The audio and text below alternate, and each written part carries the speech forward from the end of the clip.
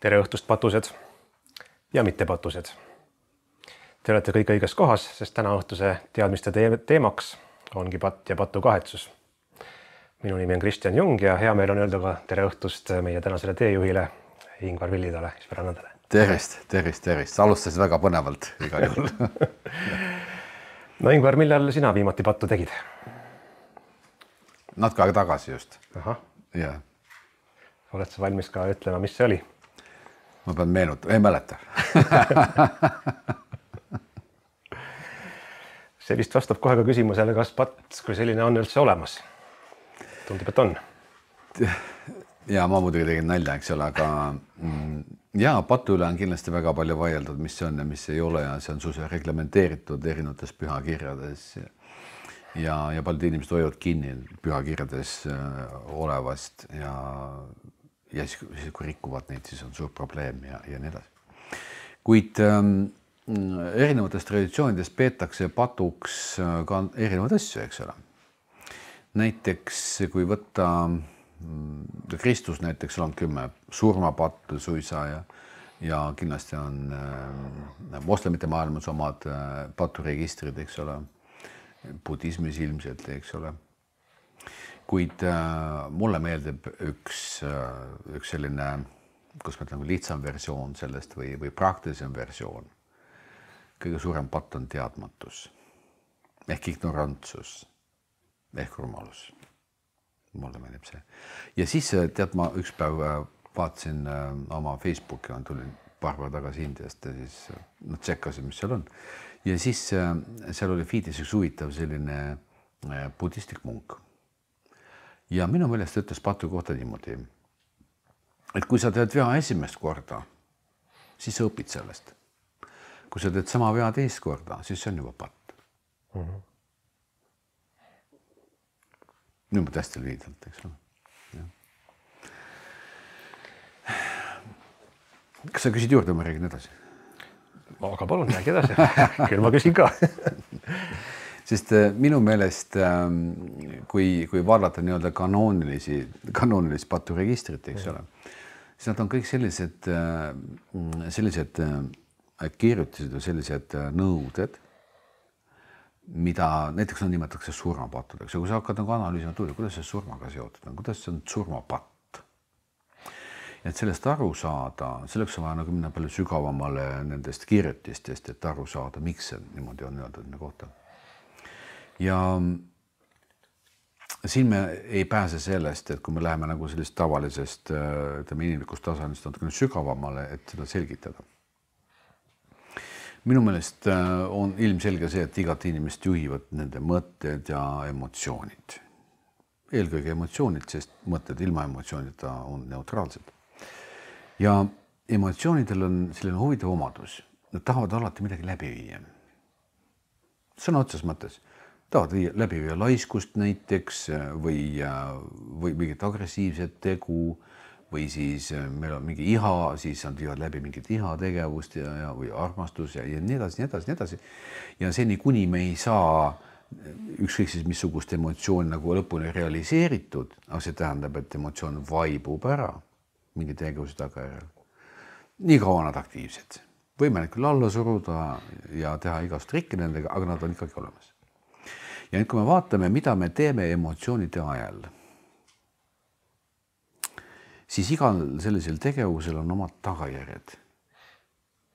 ja väga sagedasti me isegi ei tea, mida me teeme emotsioonide ajal, et kas see nagu on normaalne või on see ebanormaalne, on see tavaline või on ebatavaline, ehk meil on tavaliselt emotsioonidesse selline suhtumine, et eh, nad on loomulikud ja, ja kõigil on emotsioonid ja, ja see ongi okei. okay kuid analüüsides tegevusi hakkab välja paistma hoopis midagi muud. nimelt kõik meie kannatused on emotsionaalsed.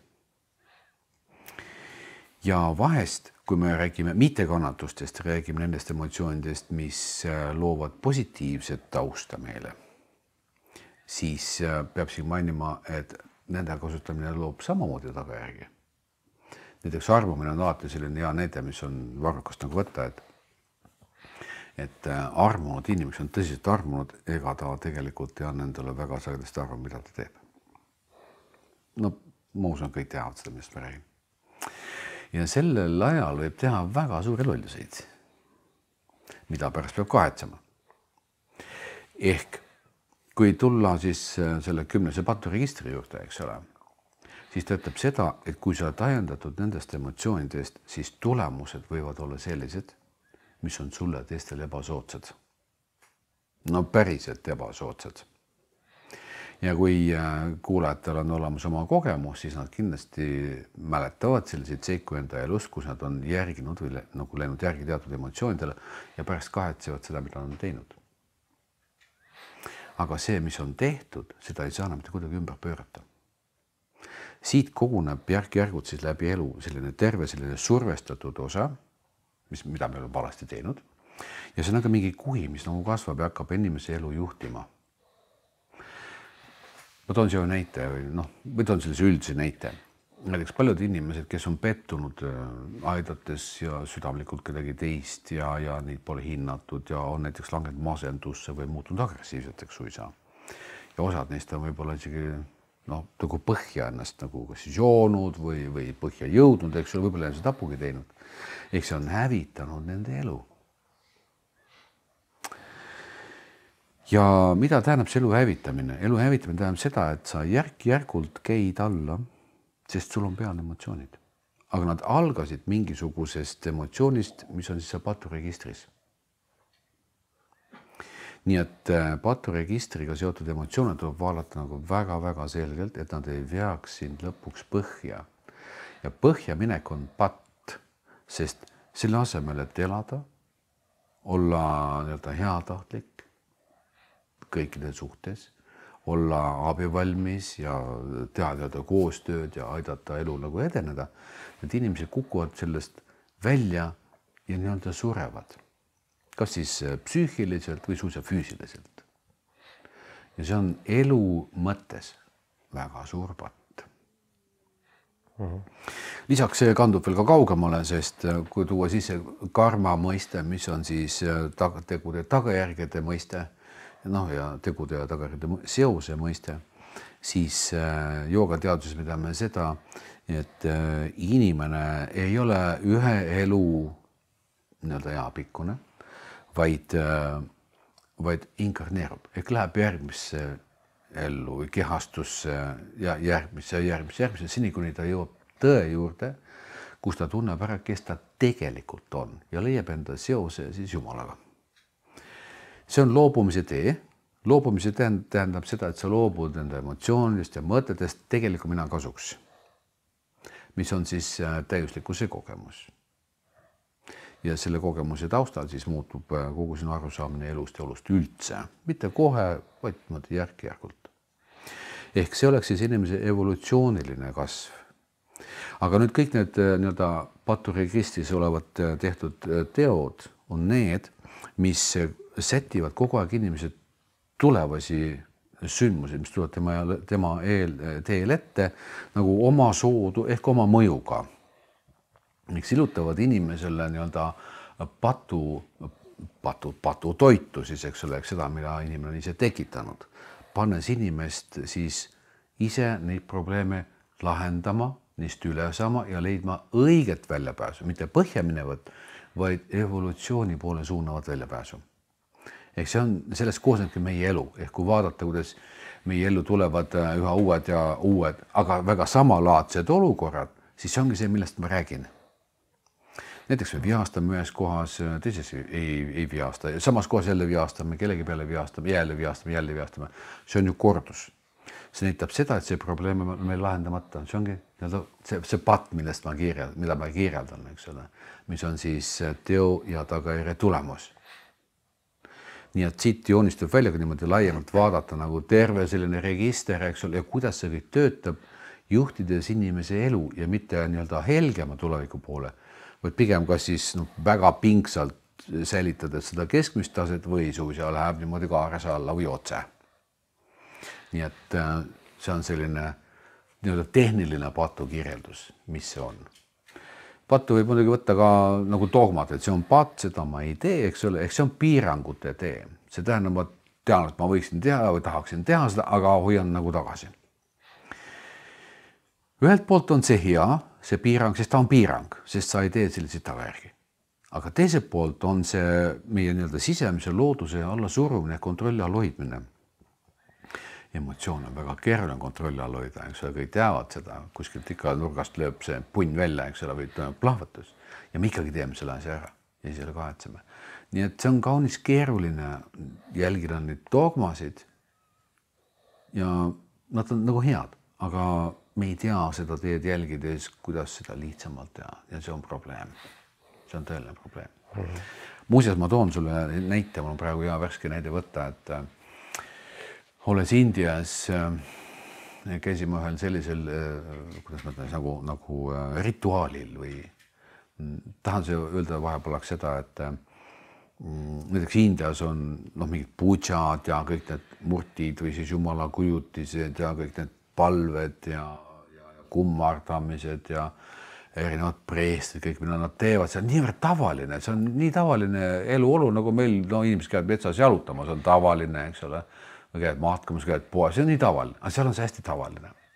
ja nüüd, kui siin meil selliseid asju teha, siis see on mingi müstika, esoteerika, eh, mingi uhuu, eks ole, ehk inimesed nagu on niivõrd erinevate mentaliteetide ja, ja kultuuriga, nad ei saa teineteisest aru. aga tagasi selle protseduuri juurde, see protseduur kannab nimetust tarpanam. tarpanam on selline Hiina tehnoloogia mida viib siis läbi spetsiaalse väljaõppega preester. sa siis lähed selle preestri juurde, sul on kaasas äh, kogu sinu ähm, eelaste nimekiri. Isa, isa liin, eks ole, isa, ema ja, ja, ja isa ja, ja siis nii-öelda tema isa, isa ja ema ja ühesõnaga kogu see sugupuu, eks ole, isa ja ema oma. Nii palju, kui sa vähegi infot leiad, ehk kõik nii-öelda nii et, äh, et inimesed, kelle, kelle tipp sa oled nagu, kellest sa nagu pärined, eks ole. ja Indias on teada see, et, et äh, väga suur osa nii-öelda pattusid nagu probleeme antakse edasi põlvest põlve, nagu juutidel näiteks on olemas, eks ole, niisugune, niisugune asi, eks ole. ja tarpana on see protseduur, kus kõik nende tehtud patud vabastatakse. kujuta ette milline, milline tehnoloogia, eks ole. ja see ei toimu lihtsalt niisama, et ma usun, et see toimub, et nad, see on, see on, see on, tõsimeelne tehnoloogia, nii-öelda vaimne tehnoloogia. ja. Ja mida see siis teeb, see siis vabastab äh, sind kui viim-, noh, viimast või noh, kehastust, eks ole, siin, äh, kes on siis lihase veres, sest ülejäänud on surnud, seda tehakse ainult surnutele, eks ole. ja vabastab sind nende mõjust ja see mõju, eks see vabanemine toimub neljakümne kaheksa päeva jooksul. meid oli seal umbes viiskümmend inimest, kes läbisid selle protsessi.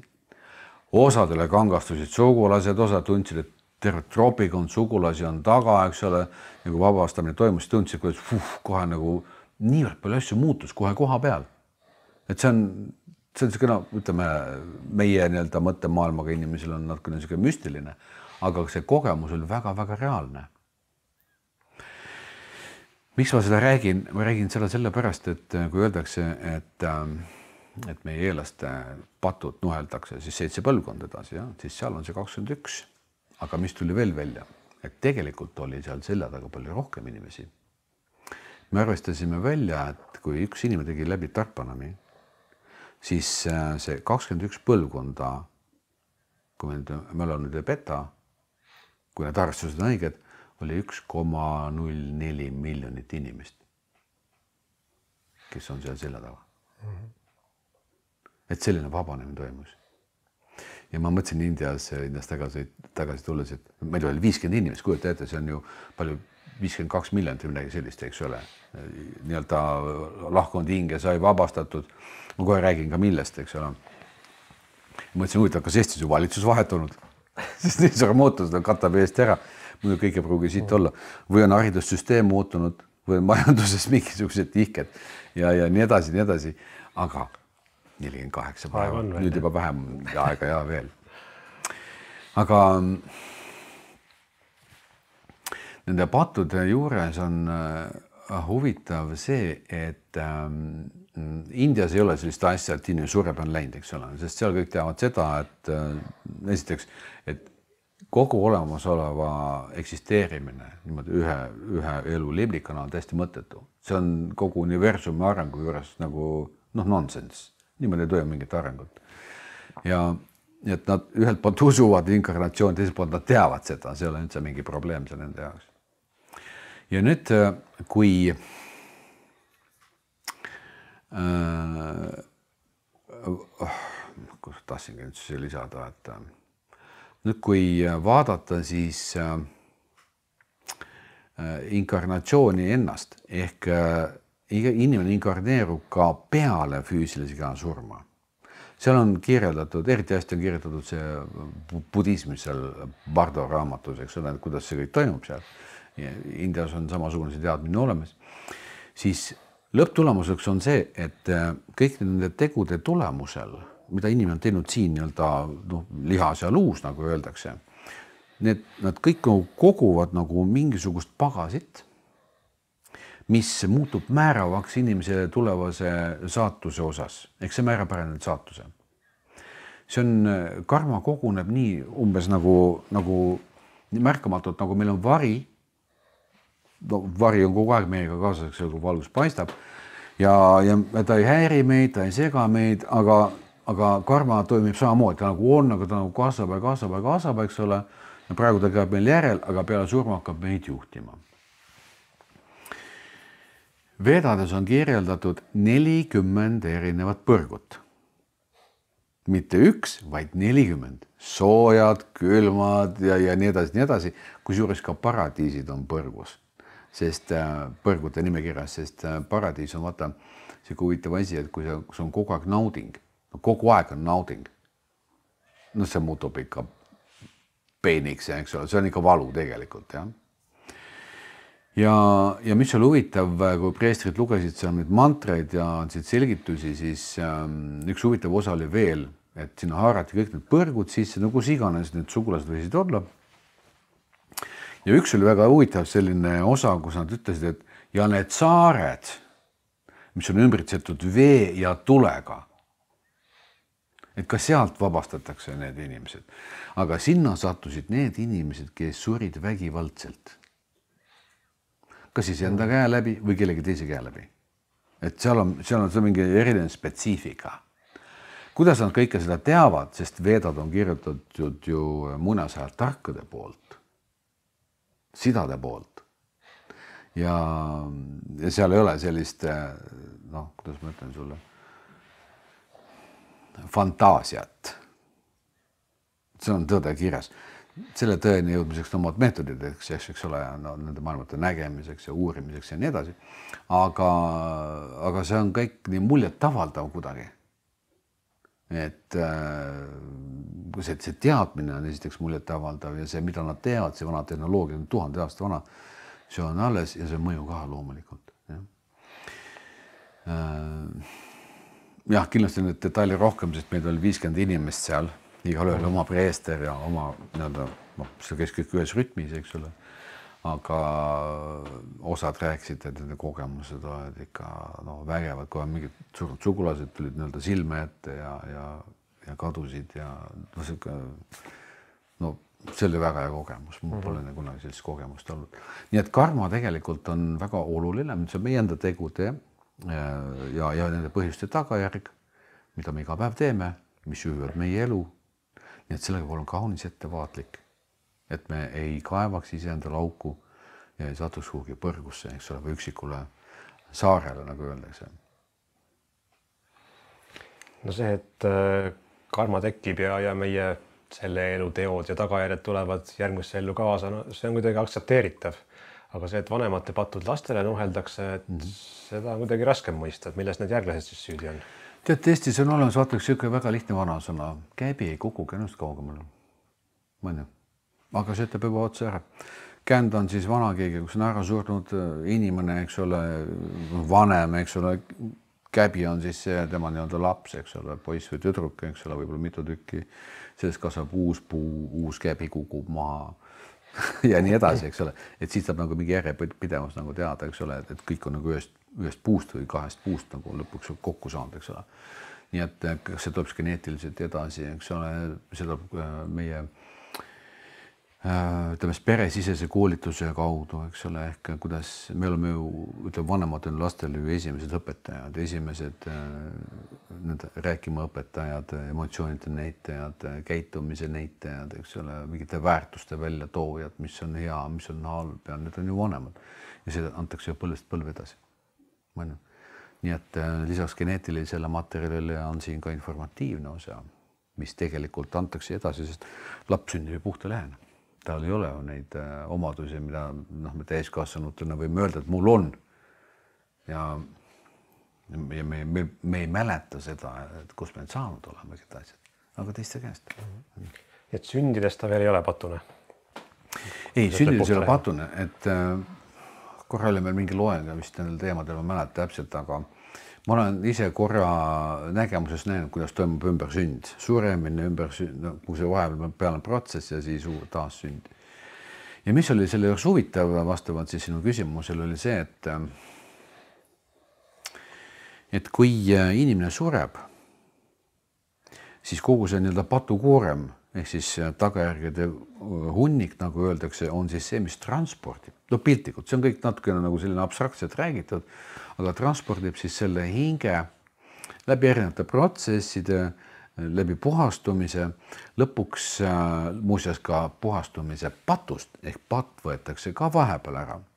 ja siis see puhastatud inimene sünnib sellesse keskkonda, kus see patt, millest ta vabastati vahepeal, juba ootab teda ees mm. -hmm. ja kujundab kogu selle ümbruse ehk ta korjab selle läbi õppe just rääkisin vanematest, eks ole, ja nii edasi, läbi keskkonna, ta omandab uuesti kõik need kvaliteedid ja jätkab nüüd sama patuga. ainult et olles vastandpoolel mm. -hmm. ehk äh, näiteks äh, kui sa noh, kui keegi näiteks on agressiivne selles elus ja teeb sellega, tekitab palju kannatusi teistele, siis ta satub nüüd järgmises elus äh, sellele poole, kus ta on kannataja ja minu meelest on see väga arukas, väga mõistlik, sest selleks, et aru saada, mida ma teen, on vaja asetuda teise positsiooni. et aru saada, aga et, et läänemaailmas puudub selline õpetus, siis noh, siin pole nagu mingit erilist lugu, eks ole, seoses sellega, sest noh, kõik on nagu normaalne ja, ja olengi selline ja nii edasi, mingit õpet siin ei toimu, mingit arusaamist lihtsalt öeldakse, kas on vilets elu või, või noh, ja nii edasi, nii edasi, eks ole. aga kui äh, võtta see teadmiseks, et see elu, kuhu ma olen sattunud, on õiglane, toimub selle elu aktsepteerimine, vastuvõtmine, mitte võitlus, vaid vastuvõtmine. aga vastuvõtmine tähendab seda, et sa nagu oled avatud sellele, sa võtad selle vastu, lähed sellest läbi ehk sööd ennast nii-öelda oma karmast läbi ja edasi seda karmat sul enam ei ole. ja kui vaadata inimeste elusid, siis tegelikult paljud ongi niimoodi läbi läinud tegelikult läbi enda karma nii-öelda võla või patu, patu tulemuse ja neil on avanud täiesti uued perspektiivid. see muidugi ei tähenda seda, et nad ei tee uuesti pattu, eks ole, ja, ja, ja jälle see pall või see ring nagu noh, ei jätkuks, ikka jätkub, eks ole. ja sellest ringist äh, välja pääseda mm, saab ainult ühel viisil mitte paljudel viisidel. ja see on? on äh, ainult kaks nähtust, mis on igal inimesel olemas, mis ei ole, ei ole seotud äh, tegevusainega. aga tegevusaine on siis see, kus me siis äh, teeme midagi ja tekitame tagajärgi. ja need tegevusained on siis, ma lihtsalt loetan meie mõtted, emotsioonid ja füüsilised teod kaks osa jääb üle. teadvus, teadvuse omadused, näiteks teadvustamine, märkamine, veristamine, arusaamine, taipamine ja nii edasi. ja tegelik mina ehk tõeline mina. Need on kaks asja, mis ei ole mitte kunagi karmat tekitavad. nii et kui inimene avastab, mis need on ja juurdub nendesse,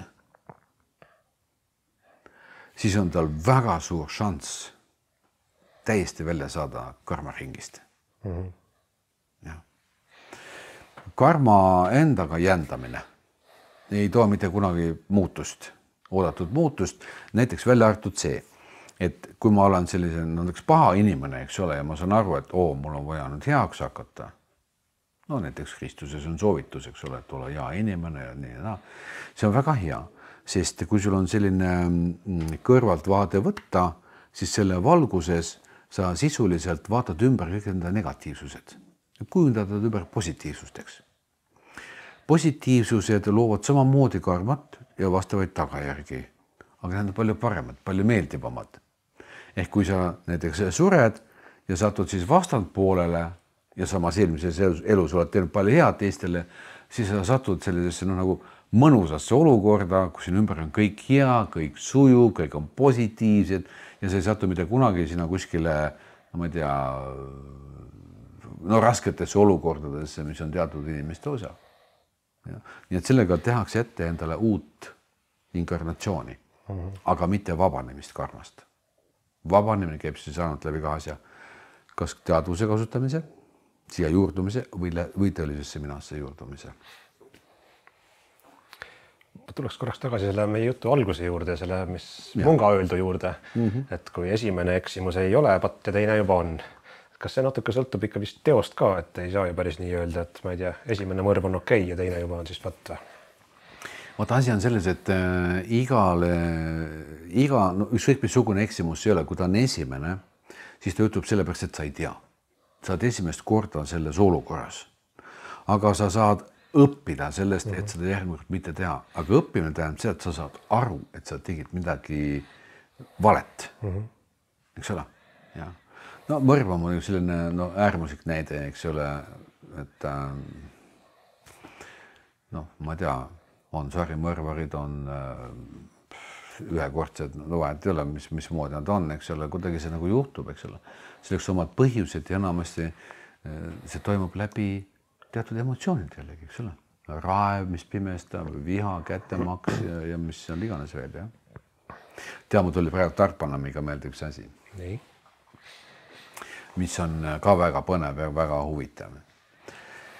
Tarpanamil on nagu kaks sektsiooni, et üks on siis, kus on sinu nagu, nagu need sugulased, eks ole, kellest sa oled siis võrsunud lõppude lõpuks, seal on ka sinu lemmikloomad, siis on sõbrad, kes on lahkunud siit, eks ole, ja nii edasi. ja vaata-kuula, ka kõik need loomad, kelle sa oled elu jooksul ära söönud ja ka kõik taimed, keda sa oled elu jooksul ära söönud, kõik putukad, keda sa oled tapnud ja nii edasi, nii edasi, nii edasi. ehk see on selline nagu kõikehõlmav selline nagu noh, nagu mingi, mingi tarbimise, tarbimise andeks palumine, et ma olen teid tarvitanud. nii et siin tuleb ka nagu see vägivald välja, tuleb patt välja selles mõistes, eks ole, mis ka mõjutab meie elusid. me tapame sääse ära, mõtleme, see pole mitte midagi, eks ole. Aga see on mõrv on ju, sööme taime ära, see on taimetoitlased ja mitte taimetoitlased, eks ole, tuleb välja, et mõlemad on patud muide, mõtleme, taimetoitlus on väga hea, eks ole, sest loomad jäävad ellu, aga näed, tarpanamel vabastatakse ka sellest patust, järelikult on ka see patt. siis patuvaba elu ju polegi võimalik üldse. ei ole, sest vaata, me tarvitame. Mhm. -huh. me ju võtame väljastpoolt sisse ja noh, ma ei tea, isegi kui me mulda sööksime, eks ole, siis me võtame selle maast, eks ole, omastame või omandame selle. muidugi me ei ole mullatoidulised, eks ole, see on selge aga kõik, mida me toiduks tarvitame, on tulnud väljaspoolt, see on ju keegi, miski või, või keegi midagi muud, eks ole ju. aga sellest patust ei päästa ju teadlikkus ka, et ma võin olla üks kui, kui tahes teadlik, sööma ma ikka pean ju. ja teadlikkus ei päästa, aga päästab teadmine, teadmine. Mida tähendab teadmine ehk äh, mina näiteks pean kõige suuremaks äh, patuks ignorantsust ehk teadmatust. ma ei räägi siin haridusest sest ka väga haritud inimesed võivad olla väga rumalad tegelikult äh, teatud asjades. see teadmine on see, mille kohta ütlen, ma saan aru. aa, ma saan pihta. vot see on minu jaoks teadmine. see tähendab mingisugune asi millestki, mida ma enne ei teadnud. Järsku saab minu jaoks selgeks. Ja läbi teadasaamise avaneb meil maailmas täiesti teistsugune pilt, sõltuvalt kui suur on see teadmiste hulk, mis niimoodi avaneb, eks ole. näiteks patu mõiste läbi arusaamise, nii noh, ütleme see kümnene sett, eks ole, need muud asjad ka, et see võib täiesti ära laguneda lihtsalt. sest äh, teada saades neid, nendest tegelikest põhjustest, mida seal on nimetatud, saad aru, et see ei olegi patt. näiteks. jah, et ta polegi patt lihtsalt. et sa muutud usklikust äh, nii-öelda teadlaseks, kes leiab üles, et ahaa et äh, näiteks see põletik, mis sul siin on, ei ole mingi saatana poolt saadetud asi, vaid on bakteriaalne infektsioon, eks ole, mida saab ravida näiteks ja kui sa niimoodi vaatad nagu ringi ja sul on see, see arusaamine töötab, eks ole, sa võid lõpuks aru saada, et sina oledki tegelikult kõik. mitte eraldi eksisteeriv indiviid, vaid oledki kõik. sinu keha on maa, nad on ühtsed, identsed, kõik energiad on, sinu emotsioonid on samad, no nagu absoluutses mõttes informatsioon, teadvus, sina ise ka, et sa oled nagu mitte indiviid, nagu tavaliselt me vaatame, eks, vaid sa oledki globaalne olend. Ütle, mis patt siin siis, mis see, see patt siin siis on? kui kõik on nagu suur organism, kus kõik nagu töötab loodusseadused pidi. ehk ma tõin ühe näite lihtsalt, et aru saada, kuidas tegelikult meile teatud arusaamiste ja praktikate tulemus maailm nagu avardub ja me väljume mingitest sellistest äh, noh, ütleme usuteemadest, ignorantsuse teemadest, õpitusest ja loodus avab iseennast meile. see on hoopis teistsugune teadmine. ja see ei ole ettekujutlus, millest ma räägin, see ongi nagu tõde, eks ole. see on üks tõe avastamise viis lihtsalt teada saada ja mitte läbi mõtlemise. see mõtlemine võib natukene abistada, eks ole, aga läbi teadvuse. mina, tõeline mina õpib ja saab aru ja see avab täitsa teistsuguse pildi ja kus kaob ära ka patumõiste näiteks. Patumõistet ei saa pähe võtta lihtsalt ideena, oh mingit patu polegi, ma usun seda või no mul on bravuurne emotsioon, eks ole, see oleks enesepettus, see oleks väga suur patt tegelikult, mis no ilmselt mingil ajal maksab kätte, eks ole mm. -hmm. Mm -hmm. hea meel on näha, et vaatajad on ka aktiivsed ja juba küsivad Väga küsimusi, julgustan ka kõiki teisi küsima kas oma või võõraste pattude kohta miks nad just seal Indias teavad, kuidas inimesi pattudest puhastada, küsitakse? Tead, äh, vaata. mina käin tavaliselt Indias, käin Tamil Nadus, see on siis seal lõunatipus, eks ole, seal on siis draviidid. see on üks kõige vanem koht, kus üldse tsivilisatsioon tekkis. ja tamili keel ja sanskriti keel öeldakse, et nad on kõikide teiste keelte nagu ma ei tea, ema ja isa, eks ole ehk äh, see, see iidne kultuur on kestnud seal tuhandeid, tuhandeid, tuhandeid ja tuhandeid aastaid. ja nende tuhandete ja tuhandete aastate jooksul on inimesed uurinud loodust. ja eriti kuulsad on selles osas äh, nii-öelda nimetatud targad, meil võiks Eestis võib kasutada sellist sõna nagu tark, mitte koolitark, aga nagu see tark, noh nagu tark, no nagu vanemuine näiteks, eks ole. Et äh, vene keeles on see sõna mudrõi nagu elutark nagu mudrõi ja kellel loodusega, kes on loodusega sinapäev. ja, ja seal on olnud siis lisaks siis sellistele tarkadele ka joogid ja sidad mm, -hmm. kes on tegelikult äh, noh, sidade kohta võiks öelda niimoodi, et ma ei tea, mida nad ei ole uurinud. sellist kohta vist ei ole kõlab võib-olla liiga ülbelt või liiga, ma ei tea, primitiivselt, aga, aga nii see on nad on teinud ka noh, järeldusi ja kirjeldanud kõiki neid asju. mitte küll otseselt arusaadavalt, see on nagu piibel natukene ridade vahelt on vaja aru saada, kui see omadus on olemas, aga aru saada, et vau, niisuguseid asju on avastanud, vau. no see Anu ehk äh, kõige väiksem äh, mateeriaühik, mida meie, nimetame aatomiks, oli neil ammu teada, tuhande aasta tagasi juba, üks Anu, kõige väiksem ühik mm. -hmm. ja nemad siis on uurinud kõiki neid asju, eks ole ja teinud igasuguseid eksperimente enda kehaga ja, ja nii edasi, nii edasi, no üli, üli, üli arenenud ja nemad siis lõid äh, vastavad äh, tehnoloogiad, mis äh, kasutavad helisid ehk mantraid, keskendumist, erinevaid füüsilisi keha, füüsilise maailma osi, näiteks noh, tuld näiteks, puid, eks ole, igasugused kamprit ja mingeid lõhnavaid asju ja viirukeid ja mitte lihtsalt niisama. kui ma küsin enda käest, et kuule, mis nad viirukeid kasutavad? No mis see point on? mis see lõhn peab olema seal? võib käima lõhnata, on ju kui keegi vastab, et aa, lõhn on ju hea, sest on ju meeldiv, eks ole, aga see ei ole see ehk kõik asjad, mida nad seal kasutavad, on muidugi pärit loodusest, aga igal asjal on oma sügav funktsioon, sest lõhnaküünal pole ainult lõhnaküünal ja tuli pole ainult tuli. mantrad ei ole lihtsalt helid. Erinevad äh, mudrad, kätežestid ei ole ka lihtsalt mingi tsirkus, eks ole. ehk nad leidsid viisi, kuidas olemasolevate vahenditega mõjutada loodust ja mitte ainult nähtavat, vaid ka nähtamatut loodust. ehk nad pidid leidma, kuidas see kõik töötab nagu suure sellise süsteemina, kus üks osa, üks väike osa on sellest nähtav ja suur on nähtamatu. Ja nad arendasid välja selle, need süsteemid, need rituaalid. iga rituaal tähendab ju välja lihvitud teadmist ehk see on teaduslik. ja kui see on välja lihvitud see tähendab, ta töötab, mitte visuaalina, vaid ka nagu päriselt, siis see tehnoloogia sellisel viisil on ju edasiantav. see on pärandatav. Ja selliseid tehnoloogiaid on Indias ülipalju. aga et seda asjad, kõik, kõik asjad on saanud just nimelt sealt alguse, eks ole, just nimelt sealt Lõuna-Indiast, see on levinud üle maailma.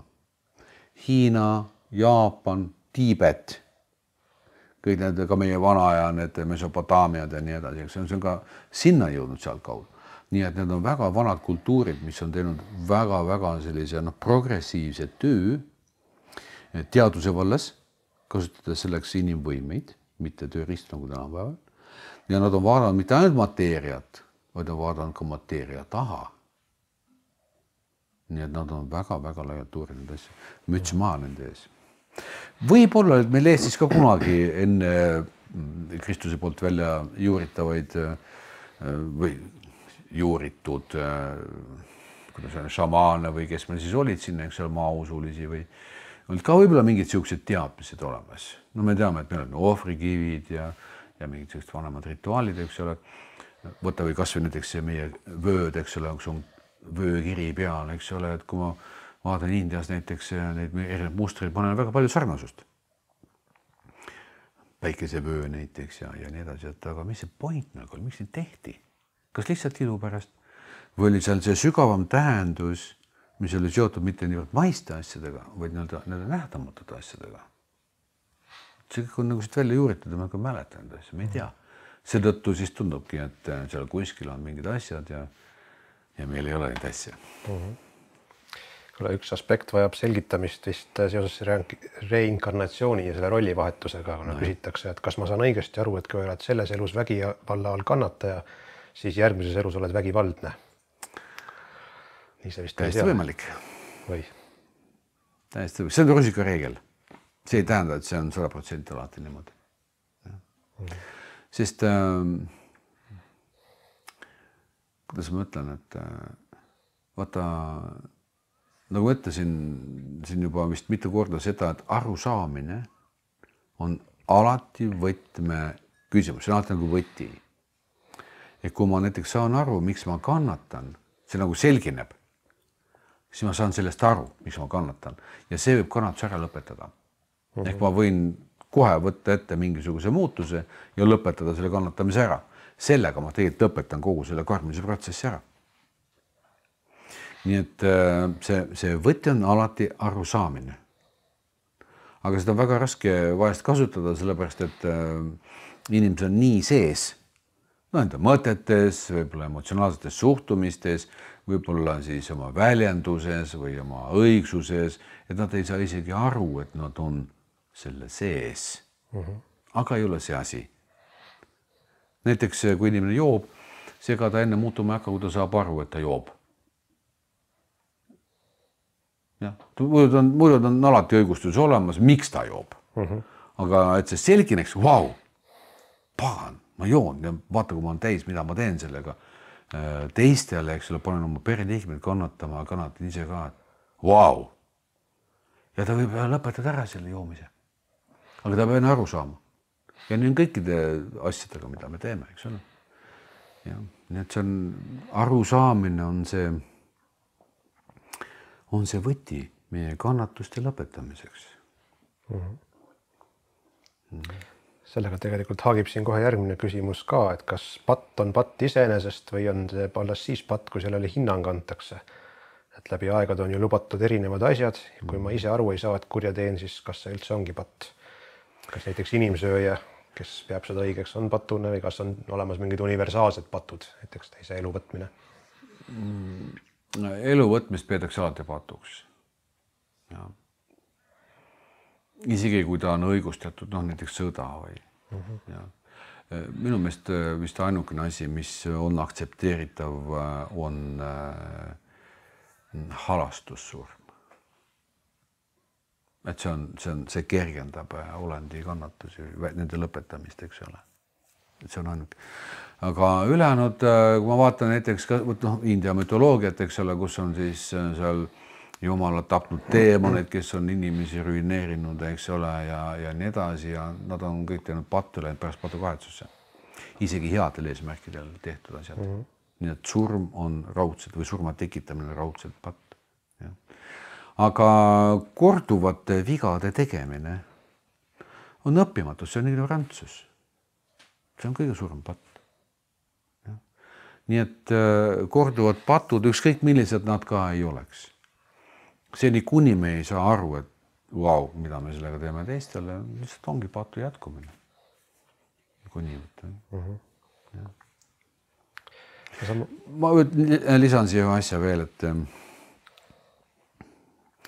kui vaadata nüüd, no see peaks mingit tolerantsi sisse tooma, eks ole, muidu ma räägin mingitest asjadest ja nii edasi, aga, aga mis see siis õige asi on, eks ole et kui äh, vaadata niimoodi ähm, äh, nii-öelda vaimsuses ringi vanades traditsioonides, siis tegelikult seal räägitakse Jumalast kui armastusest, kui heategijast, mitte sellest, kes karistab ja see on inimeste lisand Jumalale, mida tal ei ole tegelikult. ja nüüd, kui vaadata heatahtlikku Jumalat ja ta on andja, sest Jumalale pole midagi vaja, mida Jumalal vaja, tal on, tal on see kõik, eks ole, mis siin on, eks ole ja kui vaadata, kas jumal teeb pattu või ei tee, eks ole. no loogiline oleks eeldada, et ei tee, eks ole, et ta elab nagu õiglast elu või on õiglane, ma ei tea, kas jumal üldse elabki mingit elu, see on niisugune, sellest me ei räägi, eks ole.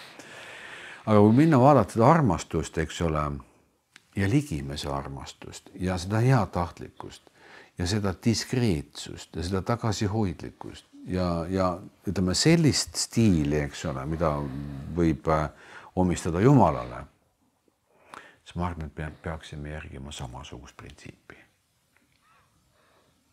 jah, et selline headus on tegelikult äh, patu ületamise protsess mm. -hmm.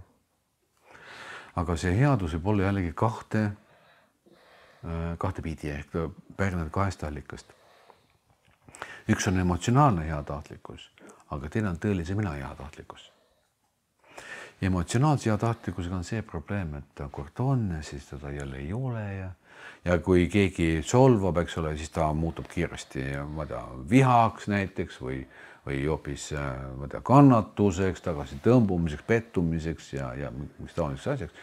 ehk ta on niisugune, kuidas ma ütlen, ta ei ole nagu püsiv, ta on nagu muutuv ja, ja ma usun, et paljud inimesed, kes on tahtnud nagu head olla ja rajanud selle oma headuse siia, tegelikult no kannatavad väga-väga, kui nad avastavad, et nad rikkusid seda.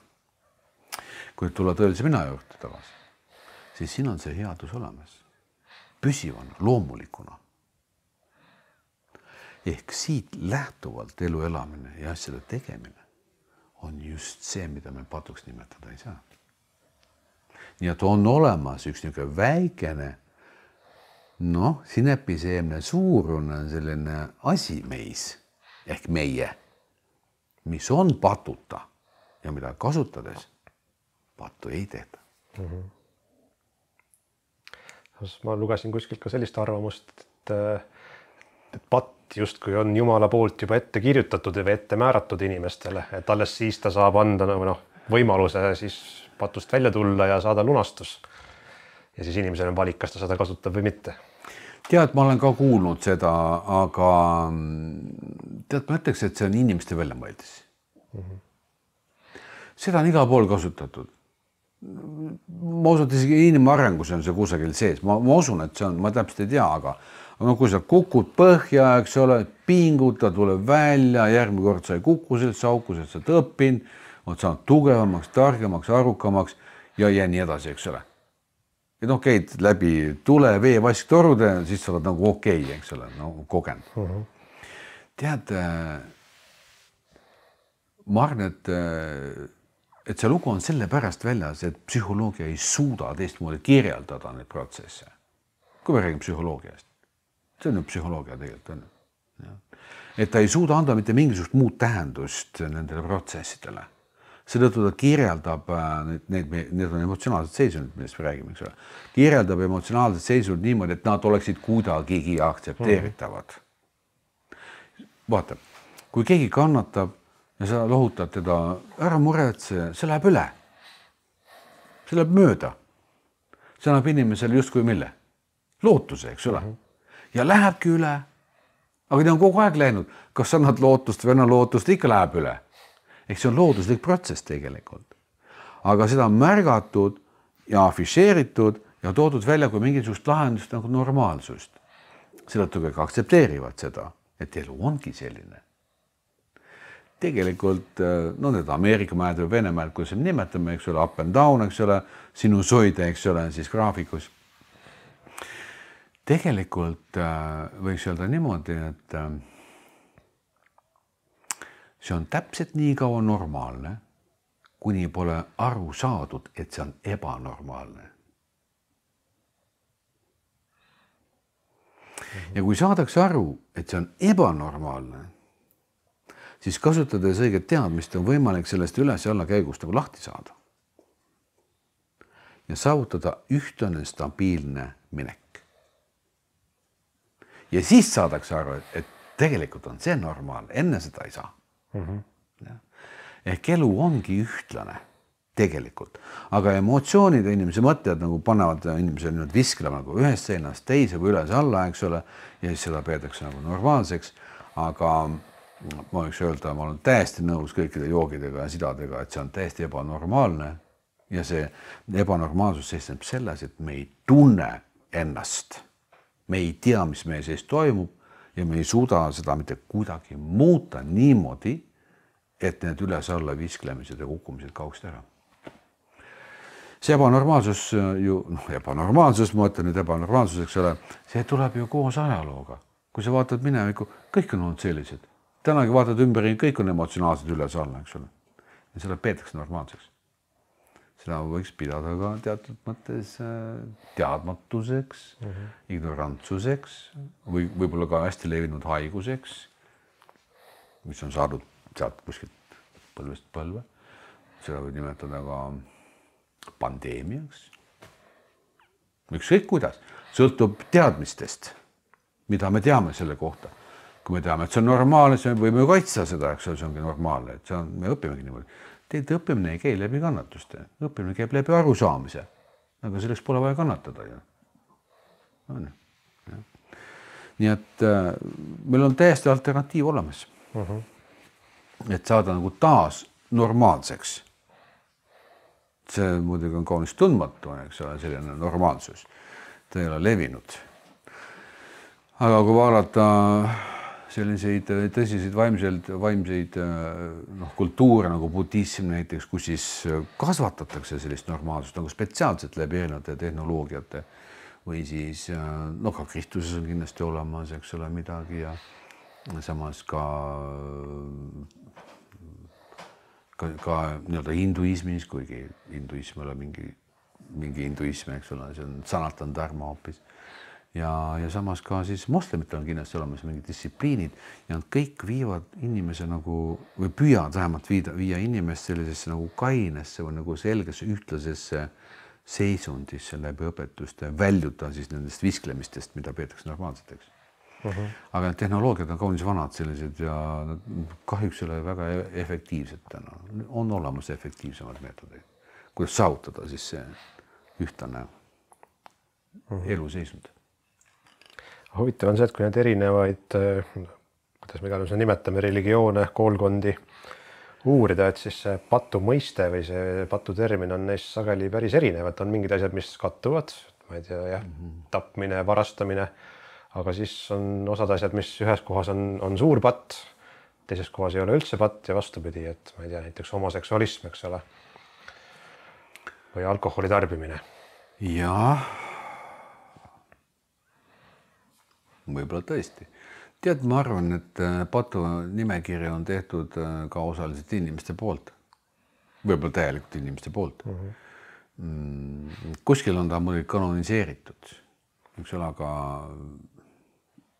võib-olla ma ei tea, no piibel kuuldavasti on jumala sõna, eks ole, et ju siis on jumal need sinna sõnad pannud, eks ole. ja need on tema sõnad, aga no nendest on võimalik ju inimestel väga erinevat viisi aru saada. Just sedasama surmapattude nimekirja on ju aja jooksul ka muudetud ja seal kokku pandud asju ja midagi välja jäetud. no näiteks, kui sa tead seda, siis no see ongi ilmselt siis nii, eks ole ja võimalik, et see on mingite, mingite noh, mingisuguse ajaperioodil oluliste selliste ühiskonna, ühiskonnas toimuvate protsesside piiramiseks mm -hmm. pandud veel siis sinna juurde inimeste poolt modifitseeritud natukene ja toodud välja siis nii kõva noh, trumbiga nagu jumala sõna, eks ole mm. -hmm. et noh, oleks hirm seda kõike teha ja nii edasi, aga noh, võta inimühiskond on ju ikka olnud äh, läbi aegade selline reguleerimata tegelikult. noh, meie tunneme, et meil on niisugune kaunis niisugune rahulik ühiskond võib-olla siin Euroopas ja võib-olla Ameerikas ja kuskil, aga kuskil on see täiesti metsik täna veel, eks ole. aga kui sa vaatad neid regulatsioone, siis tegelikult need on seadused seadused, mingid ühiskondlikud kokkulepped ja nii edasi, püütakse evida ja, ja kuidagi reguleerida niimoodi inimeste emotsionaalsust ja mentaalsust, et ühiskonnas oleks enam-vähem nagu okei okay.. noh, okei okay oleks see inimeste omavaheline suhtlus, eks ole, ja, ja olek. aga see on kunstlik. Need on välised piirangud, mida püütakse sisemiselt kuidagi nagu evida, eks ole mm -hmm., sest neil on antud väärtus. aga mäletan, ma käisin mitu-mitu aastat tagasi äh, Saksamaal vist või Austrias, mäletan, kus ma olin, eks ole. ja õpetasin siis seda practical consciousness'i seal. siis rääkisin neile, no küsisin küll nagu, kuidas seal on emotsionaalses osas siin probleem on. ei, meil on kõik korras, meil elu on väga hea, kõik on väga tipp-topp, eks ole, kõik on happy'd ja nii edasi. ja ma ei tea, aga siis ma küsisin, et aga kuulge, aga, aga kui teie elukorraldus muutub, no näiteks tuleb sõda tuleb mingi katastroof.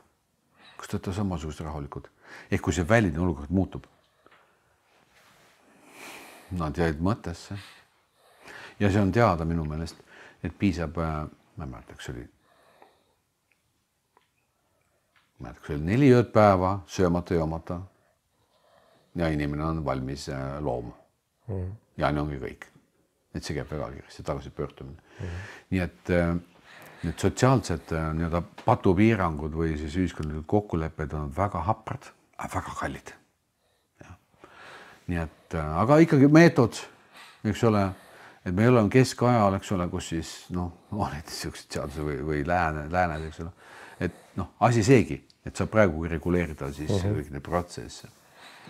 ja, ja patu mõiste on muuseas olnud väga-väga kõval kohal, eks ole, näiteks Ameerikas, eks ole läbi ajaloo, seal on palju usklikke inimesi ja, ja no see on näidanud väga palju ühiskonnale kaasa. on ju. nii et äh, noh, nendel regulatsioonidel on olnud oma mõju. Mhm. -huh.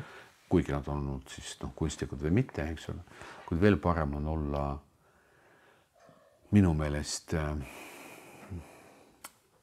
tegeliku minana, kus, äh, kust ei tekigi selliseid arusaamatusi, võib niimoodi öelda uh. Mhm.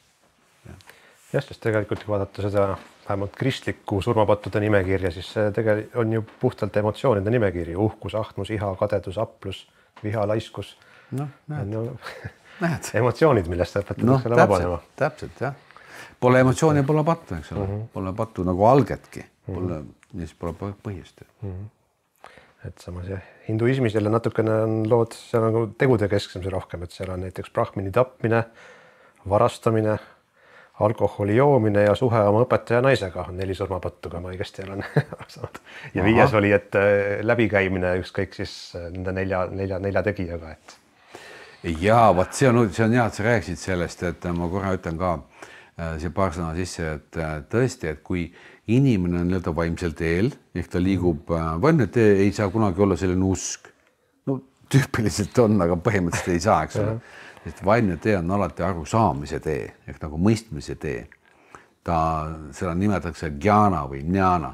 Ehk sa nagu saad aru, mitte ei usu, vaid saadki aru nagu päriselt jah. Ahaa, see on see, ahaa, too on too, siis äh, äh, eriti alg, algfaasides, kus õpilane alles tuleb, siis ta ju suhtleb kõikidega, seal mingid praktikad, kõik keskendumised, kõik niisugune nagu rutiin ja ta nagu väsitab ja inimesed tahavad suhelda omavahel, sest see automatism, seda veel nii palju, et see tahab nagu suhelda ja nagu väljuda ja, ja nii edasi, nii edasi. ja siis, kui satutakse mingisse keskkonda kus inimestel on teised mõtted, näiteks paned äh, õpilase kahtlema selles, mida ta teeb. siis nad tirivad ta sellelt teelt vaikselt ära. jah, või loovad talle ahvatlusi, näiteks ta on oma mingitest ahvatlustest nagu eemal hoidnud, eks ole, nagu vabastanud, vabastanud ja siis räägib talle augu pähe, et kuule, no mis see on, no viimane kord proovi ära, eks ole, jah. ja siis läheb kaasa ja ongi kadunud. see tähendab, et nad katkestavad vaimsel teel oleva inimese praktilise tee ja seda peetakse väga suureks patuks. jah mm -hmm. Võtaks korra veel siit mõned vaataja küsimused siis vahele. ahah, intrigeeriv küsimus, aga kas näiteks kõrvalsuhe on patt või tegelikult ei ole ja miks seda patuks peetakse? no see on niisugune habras teema, aga no, no kuidas sulle nüüd öelda, et sõltub, kuidas sa vaatad seda. on ju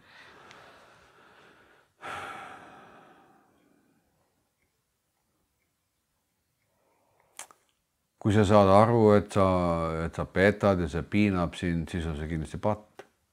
no kindlasti on. Aga kui see on niisugune no, nagu, nagu mitte midagi, ei ole piinasid, ei ole, no mingit tagajärgi nagu ei ole, kuidas see saab patt olla siis? no kui niimoodi lihtsalt võtta, eks ole.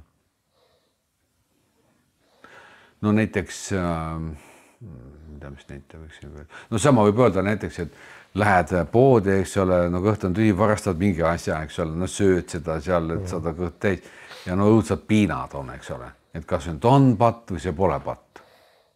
või lähed külma kõhuga poodi, varastad midagi ära ja mitte mingit tunnet ei ole. et kas see nüüd on patt või ei ole patt.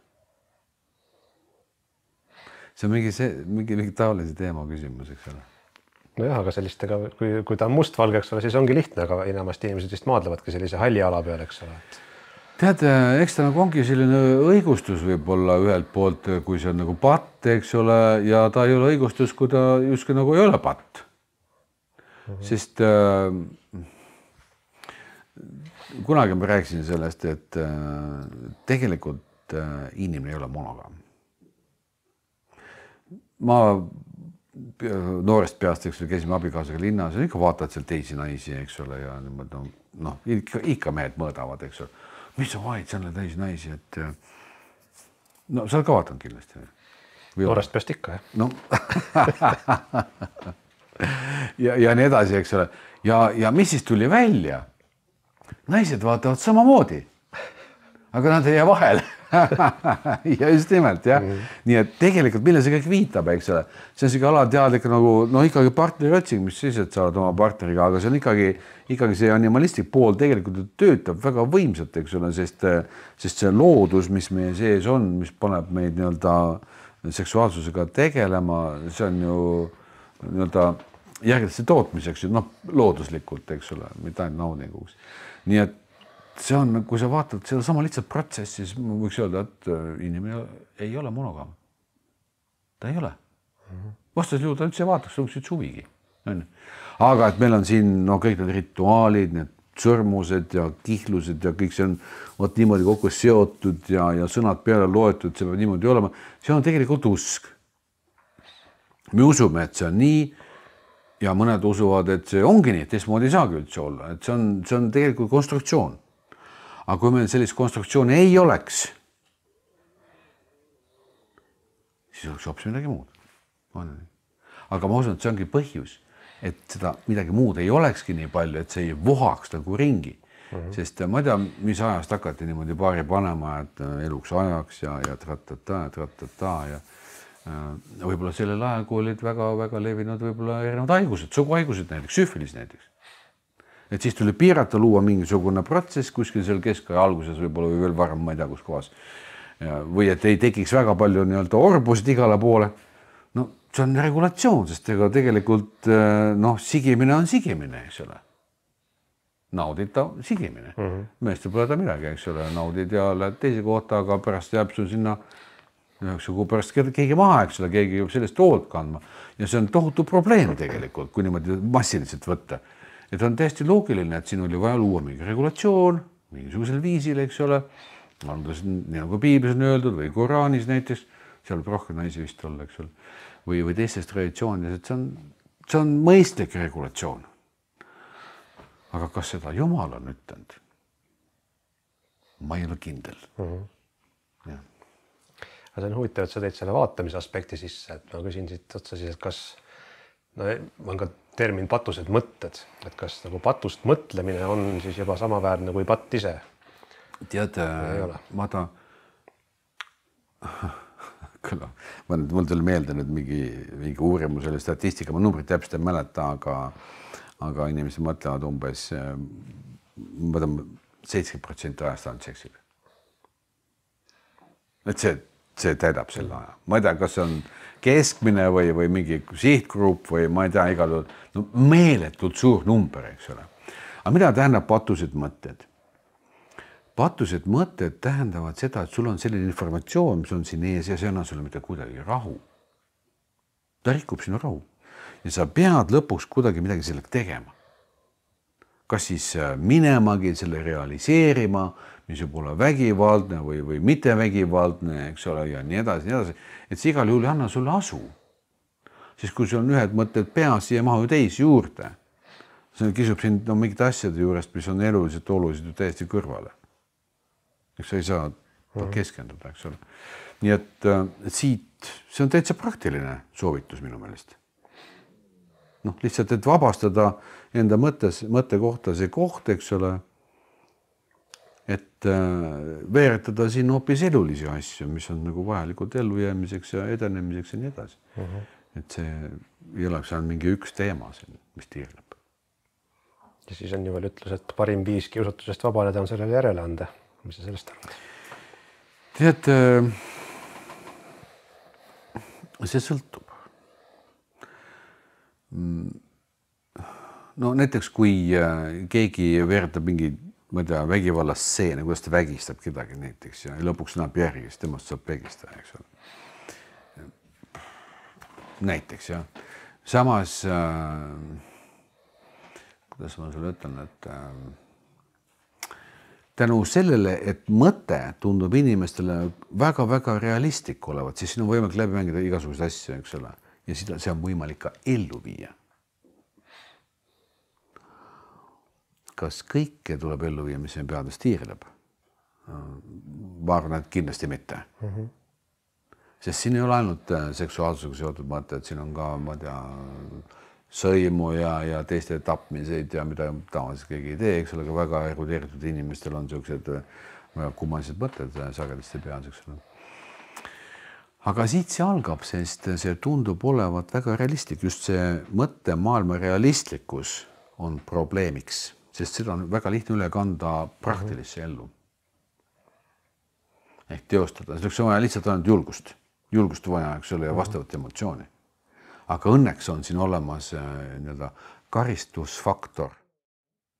karistusfaktor tähendab seda, et, äh, et kui ma seda teen, siis ma saan karistada. näiteks äh, ma ei tea, vangi sattuda või sattuda siis ühiskonna põlu alla sattuda siis ajalehte sinna rubriiki, eks ole, kus me ei taha olla näiteks või mingid siuksed asjad, kus avalikkus saab teada, et on sellised asjad, paljastatakse, eks ole. et äh, õnneks on need hirmud nii suured, et nad blokeerivad äh, nende ettekujutluste realiseerimise suuremas osas ära mm. -hmm. aga järgiandmine tähendab seda, et oh, nüüd ma sain seda teostada, see on läbi tehtud ja nüüd justkui on rahu. see läks korraks küll. Aga ei lähe üldse palju aega, kus tekib samasugune teema, aga juba seeria number kahega kus on juba natukene rohkem mingisuguseid lisandeid juures, eks ole, ehk mis tek-, tekitab uue ahvatluse ja see areneb niimoodi edasi, et meil tekivad näiteks sarivägistajad, sarimõrvarid näiteks, mingid sari, sari, sari asjad, eks ole. näiteks võtame peres, eks ole, andsin laksu ettekujutuse, et annan ja ei, pole andnud, hirm oli ees, andsin laksu, mitte midagi juhtunud. Karistust ei järgnenud. ja nüüd juba järgmine kord käib see väga lihtsalt ja niimoodi tulebki perevägivald, füüsiline vägivald, eks ole jälle. või siis vaimne vägivald. jah, nii et see on, see on väga ohtlik selline tee tegelikult jah. nii et äh, mina soovitan tulla kursustele ja vabastada need asjad sealt kõik. et ei, neid polekski üldse olemas sisemaailmas selliseid asju. aga isegi kui neid ellu ei viida, kas, kas siis on nii-öelda patt juba sooritatud, kas karma juba koguneb ainuüksi sellega, et ma neid asju mõtlen või keegi mõtleb, eks ole? -hmm informatsiooniga on see rumal asi meie peades, et ta ei püsi ainult meie peas. ehk informatsioon äh, levib ruumis.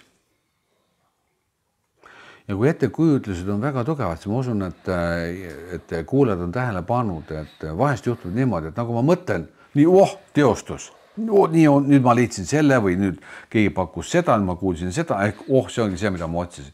et see nagu teostub kohe. ehk mõte on ennast teostav.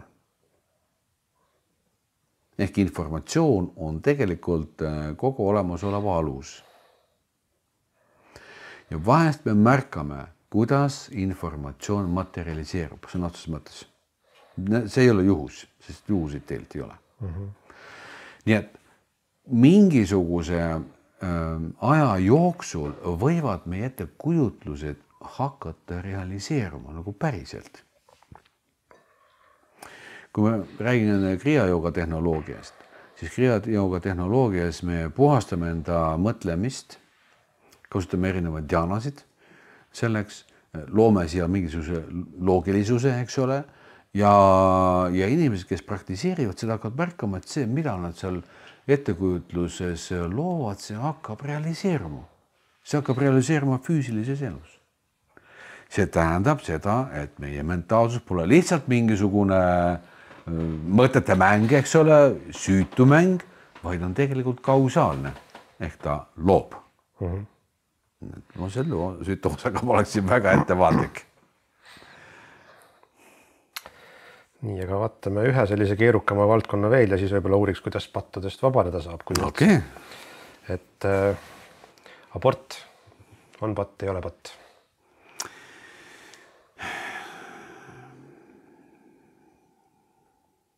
sõltub, kuidas see juhtub, eks ole.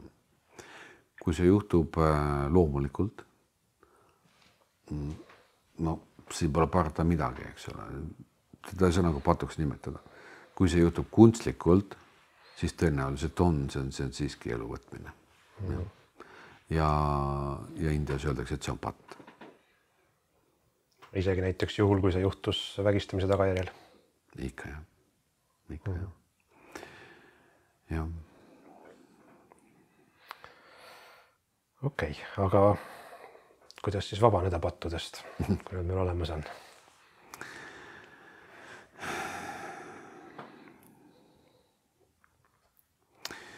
vaata, paatudega on see lugu, et paatud on meeles. on sul meeles paatud? no kui hakata mõtlema. mõned kindlasti on jah. no kindlasti on, eks ole. ja kui hakkad seda Pandora laegast avama, eks ole, siis tuleb sealt rohkem järjest meelde, eks ole aga kui sa nüüd meenutad, siis, äh, siis, siis meenutus on ju pärit mälust, eks ole, ehk meenutus leiab aset reaalselt, aga reaalses olukorras seda ei juhtu. Ja nüüd see, mida sa meenutad, see on see osa, mis on sinu oma, mis kuulub sulle ja mis ei ole nii-öelda sinu poolt tehtud teistele osa. sest see, mis on tehtud teistele, seal saab mitte midagi muuta. aga enda juures olevat osa saad muuta ja iga meenutus koosneb põhimõtteliselt ainult kahest komponendist. ehk informatiivne osa, see, mis juhtus, see, mis toimus, see, mis tehti ja emotsioonid, mis käivad selle juurde. See on nagu äh, mustvalge pilt, eks ole, informatsioon ja mis on värvitud siis värviliseks, mis on siis emotsioonid mm. -hmm. kontseptsioone ja emotsioone ehk mõtteid saab vabastada vastava tehnoloogiaga, nagu neid practical consciousness'is õpetatakse. ja selle kaudu saab vabaks kõikidest nendest tegevustest ehk pattudest, mis on sinu külge jäänud või sinu, sinu juurde veel jäänud. Need teised, mis on teiste juurde jäänud. Ka siin on olemas tehnoloogia. oled sa nõus seda jagama? tarpana tuleb Indiasse minna kui jopa, kui õnnestub, sest see ei ole iga nurga pealt leitav, see on väga selline väga spetsiifiline mm., kaunis raskesti leitav selline protsess mm. -hmm. ja ma ei mäleta praegu täpselt, aga ilmselt võib-olla ma olen ka aja jooksul andnud mingisuguse tehnoloogia, aga on praegu ei tule selgelt nagu meelde et.... aga see teenus, mida meil siin pakutakse, et ma ei tea, lähed näiteks kirikusse ja pihid. tead, pihtimine Mm, protsess, nagu ma räägin protsessist, ma ei räägi, kas ta on hea või halb, eks ole, aga pihtimine protsessina on äh, avameelsus, kus sa räägid midagi välja, mida sa muidu ei tahaks rääkida või tahaks nagu varjata. sa lihtsalt vabaned sellest koormast. See on nagu mahalaatimine minu meelest mm. -hmm. kas ta nüüd äh, nagu lõpuni vabastab? ma ei oska sulle öelda aga kui näiteks seal on ka noh, preester, eks ole, kes siis äh, peale pihi nii-öelda vastuvõtmist, eks ole, ütleb sulle, et su patud on andeks antud, siis see osa võib-olla tõesti aitab nagu aru saada, oh, nüüd ongi kõik, eks ole. ma ei tea, kas see on nii-öelda lõplik lahendus, kas sinna sisse no ei ole veel midagi jäänud. Aga vähemalt see töötab, vähemalt nii palju, kui palju töötab, ta töötab, eks ole selles mõttes äh, on noh, ma ei tea, sõbrad või sõbrannid, kes on lähedased, äh, võib-olla nagu, nagu ka pihipreestrid, eks ole. Neile räägitakse parimatele sõpradele nagu no kõik asjad ära avameelselt ja -hmm. see ka kergendab, eks ole. lootuses, et nad ei räägi edasi, eks ole. ja, ja sellest on palju kasu. Jah, see on nagu mahalaatimine, see on nagu jagamine, mitte jagatud äh, patt, vaid ta ongi minu meelest, mina klassifitseeriks seda nagu mahalaadimiseks rohkem. aga need muud, mis need siis on tehnoloogiad, mida erinevad religioonid pakuvad nende patu heastamiseks siis, et ma ei tea, palverännak või paast või tsölipaat, annetused, vereohvrid hmm..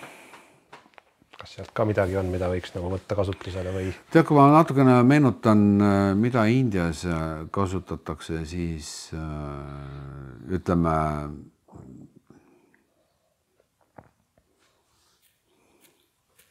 mitte inimeste keskel, sest see on liiga komplitseeritud, sest eeskuju võetakse ikkagi, kui noh, mingi, ma ei tea, jumalus tapab seal teemoni näiteks äh, ja nii edasi, et mida see jumalus siis teeb. Siis tegelikult äh, seal on patukahetsus olemas. aga patukahetsus käib läbi palvete või läbi mantrate mm. -hmm. jah, kus siis äh, pöördutakse Ähm, äh, selle poole, kes suudab või on võimeline pattu andeks andma või vabastama inimest patust ehk karmast. Ja selleks on äh, Indias ainult üks jumal. Indias on muidu ainujumala usk, kellel on kaks nime, kas Vishnu või Shiva.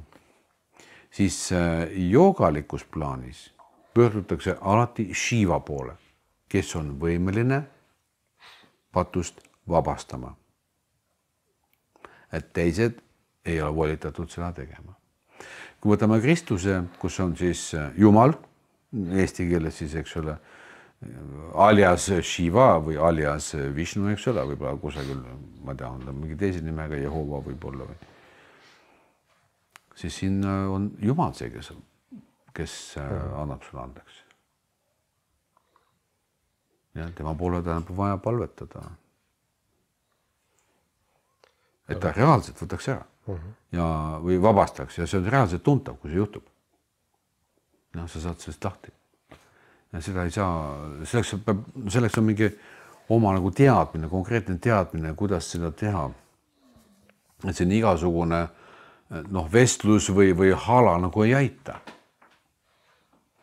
et sa pead olema siiras, aru saama, mida sa tegid, aru saama, mis see on, aru saama, kus on Jumal ja siiralt ning alandlikult paluma, et ta vabastaks sind sellest asjast, mis sa tegid, kas teadmatusest, tavaliselt teadmatusest, eks ole mm, ma ei tea, rumalusest või? Noh, mingi, mingi põhjus peab olema. ja kui Jumal võtab kuulda, siis see vabanemine toimub kohe. Mm. siin peab olema see suund, sisu, kõik peab olema õige. Mm, -hmm. siis see töötab väga hästi. Okay.. Aga kui sellel nii-öelda patusel teol oli, oli ka teisi ohvreid, kui see puudutas teisi inimesi, kas nende pool, nendelt andeks palumine, nende poole pöördumine, suhtlemine ka midagi muudab või on see? las ma küsin sinu käest, kuule, kas keegi on sulle mingisugust käru kokku keeranud ja pärast käinud äh, andeks palumas? eks vast ikka on elu jooksul jah. no vaata, kui konkreetselt meelde ei tule, see on nagu keeruline, aga kui tuleb konkreetselt meelde, eks ole okei okay,, ta tuleb, palub andeks, no lapsepõlves oli palju selliseid asju, eks ole uh -huh., andsid mingil, ma ei tea, plekkkämbriga, noh, seal liivakastis vastu pead, pea lõhki, pärast läksid, palusid andeks, eks ole, need on lihtsalt sõnad, eks ole see ei tähenda mitte midagi uh. -huh. aga kui keegi tuleb andeks paluma ja siis sa no võtad vastu selle andeks küsimise nii-öelda ütled okei okay, ja sa annad andeks, see on nagu mingi vahetus kui sa peale seda, kui inimene ära läheb, sul on ikkagi nagu noh, sa ikka tunned seda, ta on siga ikka tegi seda, eks ole, siis see ei ole andeks antud. on ju nii uh -huh.? ehk andeks andmine peab lõppema sellega, et sa ei tunne enam seda, sul on see nagu läinud. nii et see, siin peab nagu vaatama, et kuidas see siis inimeste vahel nagu töötab, et kas see on nii-öelda pinnapealne uh -huh. noh, mentaalne protsess või nagu päris protsess et andeks andmine peab ka olema nii-öelda teadlik tegu, et sa ei saa lihtsalt sõnadena seda öelda, aga kui sa päriselt ja. ei anna andeks, siis pole mõtet seda ka. jah, täpselt jah, pead, sa pead tundma, et see ongi nüüd vabanenud mm. -hmm. jah, nii, aga meil on väga palju veel tulnud siin ka vaataja küsimusi. vaata, kui tore mm. -hmm. nii, mõned väga tõsised ja mõned vähem tõsised. miks lapsed haiguse või õnnetuse tõttu surevad? Need on konkreetsed põhjused, millest on väga raske aru saada. kuid nad on kõik karmilised. jah me ei tea nende nii-öelda siia sündinud laste karmata, mis on eelmises elus, me ei tea seda. keegi ei tea seda, sest on varjatud. on miks mingi laps noh, ma ei tea, sünnib vigasena või, või, või ta saab mingisuguse haiguse kusagilt, mis on parandamatu või, või hoolimata ravist ta ei parane. või miks vanem, see on lapse, lapsega toimuv selline protsess, ei ole ju ainult lapse jaoks, see on ju ka vanemate jaoks, see on kõik kaasatud. karma on selles mõttes äh, nagu no ülinutikas, ta haarab ühte protsessi kõik, kes seal ümber on, kõik reguleeritakse ära, kõike mõjutatakse, kõik kõik peaksid õppima, kõik peaksid aru saama. et see on selline no väga komplitseeritud protsessistik. ja nii, et siin ei saa olla kunagi ühepoolset vaadet ainult, et vot selle põhjusel ja sa oled alati kaasatud siia. Mhm. -huh. see on alati eh, ka õpetlik, sest karma ei ole kunagi ainult karistaja, vaid on meie võimalus õppida. karma näitab meile ette meie sõlmkohad, andes meile ülesandeid neid lahendada aru saada. nagu aru saad, nii sõlm koht, sõlm läheb lahti, sul avaneb täiesti uus võimalus. nii kaua, kui sa aru ei saa, eks ole, nii kaua on sõlm sõlmes, on ju mitte midagi muud. nii et äh, karma on, ütleme meie maailmas on meie, meie elu mm. -hmm.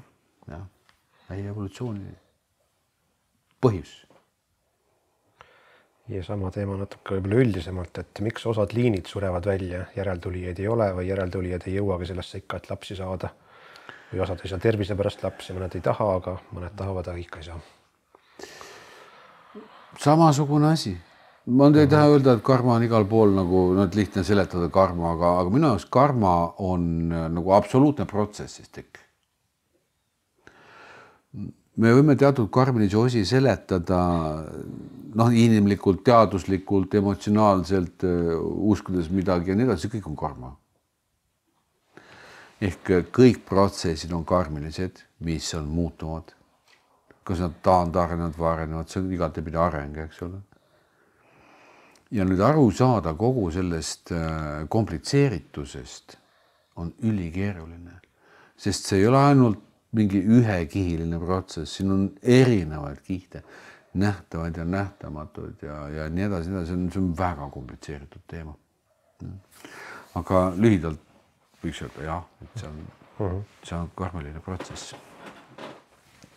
ehk kõik, mis toimub meie elus, on karmeline protsess või protsessid ja ma ütlen veel kord, et äh, meile jääb äh, meie elust vahest selline mulje, et kas tegemist on juhusega või äh, kuidas ma ütlen, või, või et ma juhin iseenda elu näiteks siin maa peal ja ja et õnnetused on nagu ka juhused või, või, või näiteks ma ei tea, last, lastega seotud õnnetused või et kõik on kuidagi äh, juhuslik, et loodus on nagu pime lihtsalt või noh, nagu rumal, siis äh, mina olen oma kogemusest öelda, et äh, on täiesti vastupidisel seisukohal. looduses ei juhtu mitte midagi niisama või juhuslikult. kõik on üliarukas, aga see on nii arukas, et me ei saa kuidagi pihta sellele mm. -hmm. ainult jupikaupa aru saades ühest väiksest detailist, teisest ja nii edasi aga kui need detailid avanevad, siis me hakkame aru saama tervikust, suuremast, suuremast, suuremast pildist. siis hakkad aru saama, vau, mis see on, kuidas see tegelikult töötab, jah. nii et meie ignorantsus on see, mis, äh, mis on meile võimalik, jah, mis on kogu aeg võimalik olnud ja siit tulevad erinevad äh, siis äh, lood, suhtumised kogu elus juhtuva ja toimuva kohta, eks ole. aga, aga see ei ole nii päris mm. -hmm meil on siin kohe küsimus ka, et kui inimesel juhtub õnnetus, kas ta siis on teinud pattu? No ilmselt siis on, eks ole, aga õnnetus ei pea alati tähendama mingisugust pattu. õnnetus võib tähendada ka seda, et, et jumal tänatud, et, et niimoodi läks, et ma surma ei saanud. see võib tähendada ka seda, et lihtsalt teiste sõnadega öeldes, et, et see see tagajärg oleks võinud olla fataalne, aga ei olnud. Et seal võib olla kriimustus või lihtsalt see on mingi vigastus, aga ma olen elus, endiselt elus, eks ole. et me ei tea, me ei tea seda mm, -hmm. mis, milline see oleks võinud olla tegelikult, kui vaadata karmast lähtuvalt, eks ole. aga samas nüüd, kui tekib selline pidur ellu peale, eks ole, sest igasugune õnnetus on ju pidur tegelikult on ju, mis noh, lööb kõik meie plaanid, kõik asjad segi, eks ole, mis näitab seda, et elu ei ole meie kontrolli all täielikult et siia sisse tulevad veel mingisugused faktorid, mis on ettenägematud, mis annavad ka natukene aimu ju millestki, mingitest protsessidest, mis sekkuvad protsessidesse. vahest need nagu täiesti noh, laiali lüües, eks ole. aga kui me nagu hakkame nagu mõtisklema, mõtlema selle üle, et aga okei okay,, kuidas see on võimalik? mitte isegi, milles ma süüdi olen ja kõik see tuleb ära unustada sest äh, siin ei ole süüd olemas, kui me räägime protsessidest. see on ainult vaatlus, vaatlus, taipamine, arusaamine, detailiseerimine, see toob kätte selle info. ehk äh, kui sa vaatad näiteks eemalt, kuidas kass jahib hiirt, eks ole, sa saad aru, kuidas ta jahib. ja sa oled selle pealtvaataja. kui sa seda pealt ei vaata, eks ole, siis sa ei saa aru, kuidas see käib.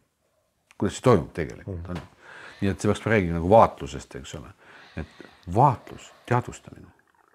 ja lisaks on siin veel üks hea nüanss on see, et äh, miks inimestel on vaatlust nagu keeruline võib-olla teha või nagu aluseks võtta, et arendada arusaamist, on see, et, et nad saalivad pidevalt enda mineviku ja, ja ettekujutuse vahel ehk meenutuste ja ettekujutuste vahel. ja sellega tekib selline mulje, et äh, elu on kuidagi nagu noh, laiali tõmmatud et elu toimub sellisel laial ribal. noh, need teevad, mis sa seal tegid, no see, mis ees ootab, tundub nagu lai selline ala olevat, eks ole. see on äh, segadust tekitav faktor, nimelt äh, elu ei saa toimuda eile ega homme, eks ole. elu toimub ainult praegu, sellel hetkel. ja see hetk on ju igavik. ei ole hetk ja selline paus ja hetk ja paus ja hetk ja see on ju pidev katkematu olek või seisund või voog või kuidas me nimetame. ja kõik toimub siinsamas. me ei minevikus ega tuleks, vaid siinsamas. see on väga praktiline vaade ja ta on realistlik. sest nii-öelda teadvustada ehk jälgida ei ole vaja seda, mis toimus minevikus või tulevikus, vaid seda, mis toimub praegu ja siit hakkab alles lahti kooruma siis kogu see meie tegevuste karmiliste protsesside nagu tegelikkus. ja ainult siin on võimalik aru saada sellest. mitte meenutades, mis seal toimus ja miks seal nüüd täna toimuvad asjad niimoodi, tõmmata seda minevikus toimuvat äh, nii-öelda jada, analüütilist jada siia sellesse hetke vägivaldselt, kui see on tõesti analüütiline, loogiline, siis sa hakkad aru saama nendest kordustest, hakkad aru saama, kuidas karma töötab. muidu ei saagi aru, eks ole. ja kui prognoosid tulevikku, saad aru, kuidas see tulevikus töötab. aga pihta peab saama praegu. ja kui pihta saad, siis saad midagi muuta. on see siis patt või mitte patt. aga muuta sa saad, kui sa saad aru mm. -hmm. muidu sa muuta ei saa seda. nii et see saalimine minevikus tulevikus tuleb ära lõpetada. õpi olema siin ja praegu. sest siin toimubki põhitegevus. siin toimub patu tegemine, siin toimub patust vabanemine ja nii edasi, progress ja regress ja degress ja kõik need sõnad sobivad siia. kas pattu peaks karistama või on okei okay see kõik siis nii-öelda karma hoolde jätta, piltlikult öeldes ma ei tea, kas vargal käsi maha raiuda või lasta tal edasi varastada ja loota, et järgmises elus siis varastatakse temalt. ja, ja tead, no kui käsi maha raiuda, on selge, et äh, sa enam selle käega varastada ei saa, kõik teavad, mida see tähendab, sa oled põlualune, see on eluks ajaks märk küljes ja ja, ja nii edasi, eks ole karistus äh, on selline meede, mis on alati seotud valuga, ükskõik missugune see valu on, kas ta on psüühiline või füüsiline, noh, noomimine näiteks on psüühiline valu tekitamine, millestki ilma jätmine näiteks mm. nagu last, lapsi kasvatatakse tihti, eks ole. Äh, või siis füüsiline karistus, mis on keelatud, aga samas kõige efektiivsem mm. -hmm. sest äh, füüsiline valu et salvestub otse alateadvusesse koos vastava teemaga, mis sellel hetkel on aktuaalne. ja salvestub alateadvuse nii-öelda preventiivsele pool, preventiivsele poolele. see tähendab, et inimene järgmine kord seda sama asja tehes tunneb hirmu karistuse ees ja seetõttu võib jätta selle tegemata. võib-olla ka tõsine noomimine tekitab sellist psüühilist valu ja võib-olla on sama võimas uh. Mhm. Aga igal juhul äh, karistus on animalistlik viis mõjutada kedagi ja mitte arukas viis. sest arukas viis tähendaks seda, et inimene saab aru, et ta tegi pattu ja peale arusaamist enam ei tee seda uh. -huh. sa ütlesid ka, et äh, seda patu tagajärge heastada ei ole võimalik. jah näiteks varguse puhul, no ma ei tea, varastas keegi kuskilt sada eurot, sai aru, et tegi pattu, võib-olla viib viissada tagasi mm. -hmm. ja justkui väike selline tšikk-tšikk, eks ole, jälle kui midagi poleks toimunudki, eks ole. aga vaata, siin on üks oluline asi, mida ei tohi ka silma vahele jätta. sel ajal, kui sada eurot varastati ära, inimene avastas, et talt varastati see ära, sel ajal on see inimene protsessis. ta toodab seda protsessi, mida nimetatakse, mult varastati sada eurot see protsess toodab tagajärgi. kogu see aeg, mida saab selle raha tagasi ja lülitub teisele protsessile ehk õnnelikkusele, oo, ma saan selle tagasi, nüüd see ta-ta-ta, siin hakkab tööle teine protsess. ehk see esimene protsess on ära tehtud teatud aja jooksul ja ongi salvestunud mm. -hmm. on ära toimunud ja seda muuta enam ei saa mm. -hmm. jah selge mm. -hmm. Vaataja küsimusi, kuulaja küsimusi veel. kui me oleme kõik Jumala ehk armastuse väljendused, siis miks maailmas on nii palju julmust ja sõltuvusi, näiteks alkoholism? tead äh, inimesest kui Jumala väljendusest peab väga õigesti aru saama, mida see tegelikult tähendab sest siin on väga palju selliseid äh, variatsioone, ma ütleksin niimoodi. ainukene osa inimesest, mis on Jumala väljendus, on tõeline mina ehk tegelik mina. see on see, mis sa tegelikult oled. see on kõigil olemas. kuid samas seda ei teata hoolimata sellest, et ta on lakkamatus kasutuses. see on paradoksaalne. mis inimene ehk mis jumalast ei ole? mõtted, emotsioonid ja füüsiline keha, need on loodusest. nii et vabandust, ehk kõik need probleemid, mis ilmselt olid seal loetletud, sealhulgas alkohol, alkoholism, ei ole inimese probleemid vot on inimese kuuluvate osade probleemid. tegelik inimene ei jää mitte kunagi sõltuvusse mitte ühestki ainest, see ei ole lihtsalt võimalik. füüsiline keha jääb aine, jääb sõltuvusse. see on keemiline.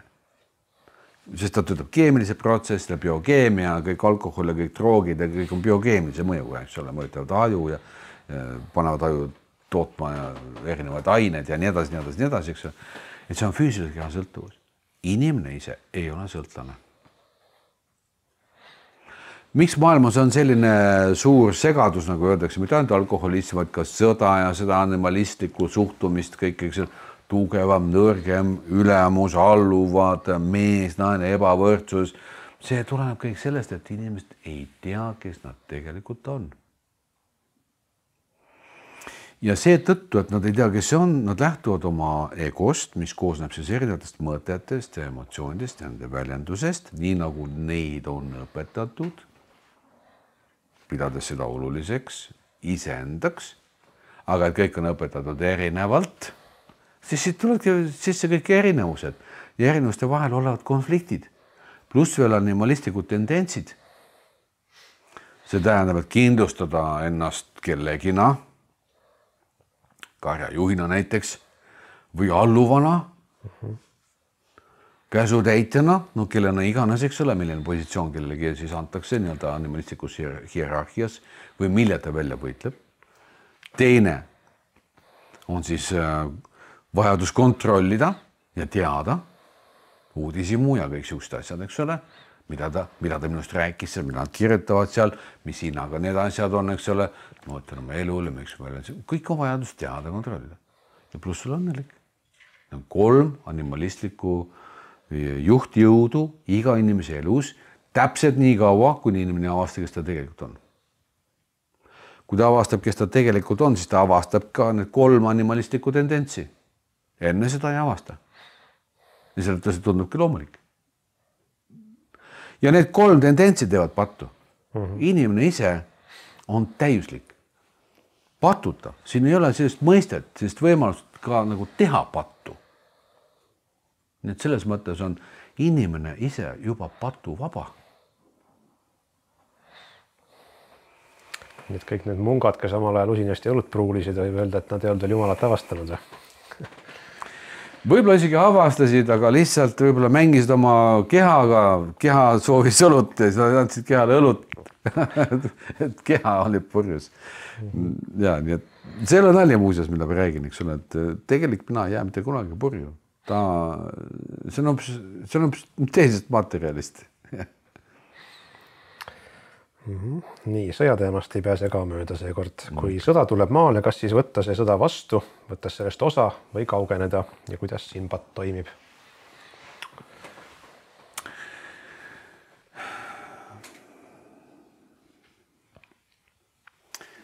Sõda on selline avalik, kõige räigem äh, füüsiline animalistlikkuse näide. minnakse peale jõuga, teise jõu vastu, see on täpselt nii nagu kaks karjajuhti kaklevad omavahel, kes saab positsiooni, positsiooni saab eneseks tugevam. kas ta tapab teise või vigastab? loomariigis tavaliselt äh, konkurenti ei tapeta. Aga inimene millegipärast tapab.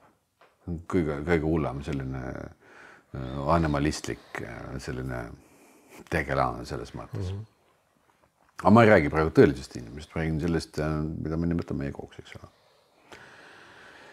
nüüd äh, vahest tekib inimestele selline mulje, et kui nad äh, tegelevad mingite vaimsete asjadega, eks ole, et siis nad peavad olema nagu lambad. ma arvan, et ei pea olema nagu lambad. Kui tulevad, noh, lõikavad kõri läbi, no ju siis, eks ole, peab olema, ma arvan, et see ei pea olema niimoodi. et kui me lähen, lähen korraks vaatan jälle India poole, eks ole, sinna nii-öelda mütoloogia poole, kuidas siis ähm, seal need lood olid, eks ole.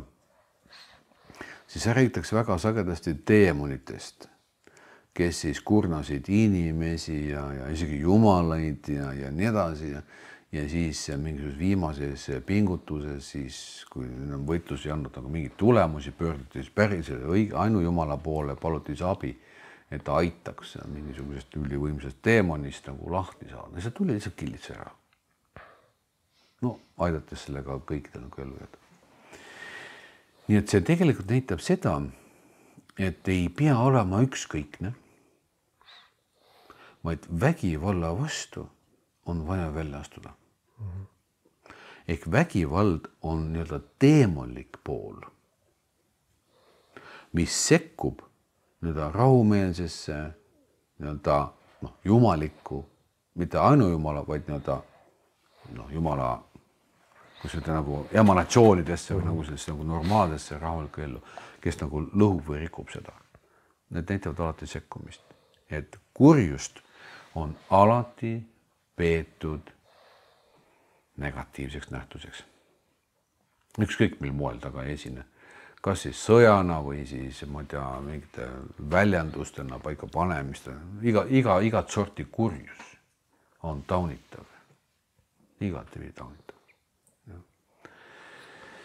ja kui rääkida natukene vaimsusest, eks ole, siis mm, vaimsuse tee algab äh, kõige tavalisematest reeglitest, mis, mis, mis kätkevad endas äh, kurjuse elimineerimist. et saada need negatiivsed tendentsid kõik välja, asendada nad positiivsetega.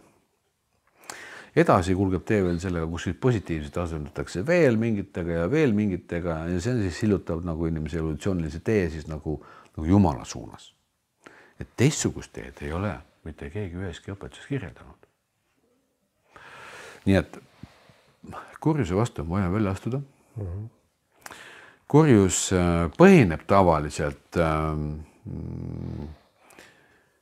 äh, ulmel, ulmeideel mingisugusel, äh, näiteks idee võimust, kõik, kõik võit, võitmatusest, et ma olen nagu võitmatu, eks ole, mingisugusest tohustust jõust, eks ole, mis mul on, tohututest ressurssidest, mis on minu käsutuses ja mis on siis toetatud vastavate emotsioonide poolt. ja rohkem vägivallal ei olegi mingisugust põhjust. nii et kui me rääkisime siin sellest, et enda mõtteid peaks kontrollima, eks ole, et nad ei teostuks, siis selline sõda näiteks, agressioon küpseb kõigepealt ju peas. kui ta on plaan. Kui ta ei ole isegi peas küpsenud, siis see on emotsioon.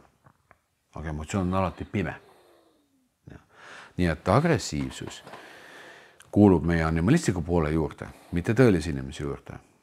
ja siin on olemas kõik, nagu öeldakse, animalistlikud head ja halvad, sest vaadake, loomad on väga leebed üksteise vastu vahest ja armastavad ja on, on palju looduspilte või, või filme, eks ole, kus nad no, tõesti tundub, et nad täitsa nagu noh, ongi nagu inimesed, eks ole mm. -hmm. Tegelikult võiks vaadata, et me inimestena oleme neile sarnased ja samas me näeme sealt ka kurjust, eks ole me näeme seal ka kaitsmist ja me näeme seda ka inimeste puhul. nii et me ei erine, ütleme egoistlikul tasandil, mis on tegeliku mina mittetundmine üldsegi loomadest. ja me oleme liigina ka ju loomad mm. -hmm. aga me unustame ära selle lihtsalt. vot see animalistlik pool ehk tegeliku mina mittetundmine on kogu kurja juur nii et tegelik mina ehk tõeline mina on siis sündinud sellesse keskkonda inkarnatsiooni tulemusel, saanud siis selle keha endale, mis on animalistlikust maailmast. ja kasutab enda animalistlikke tendentse ja teeb sellega pattu nii endale kui ka teistele, korraldab oma elu, arvates, et tema on siin siis see kõige olulisem teeb, tüüp, eks ole. ja niimoodi me saamegi kõik need protsessid lõppude lõpuks, mis meil inimeste vahel maailmas toimuvad mm. -hmm ja kui siia tuua siis see patu mõiste regulatsioonid, siis need piiravad seda animalistlikkust. sest tõelisel inimesel ei ole vaja piiranguid.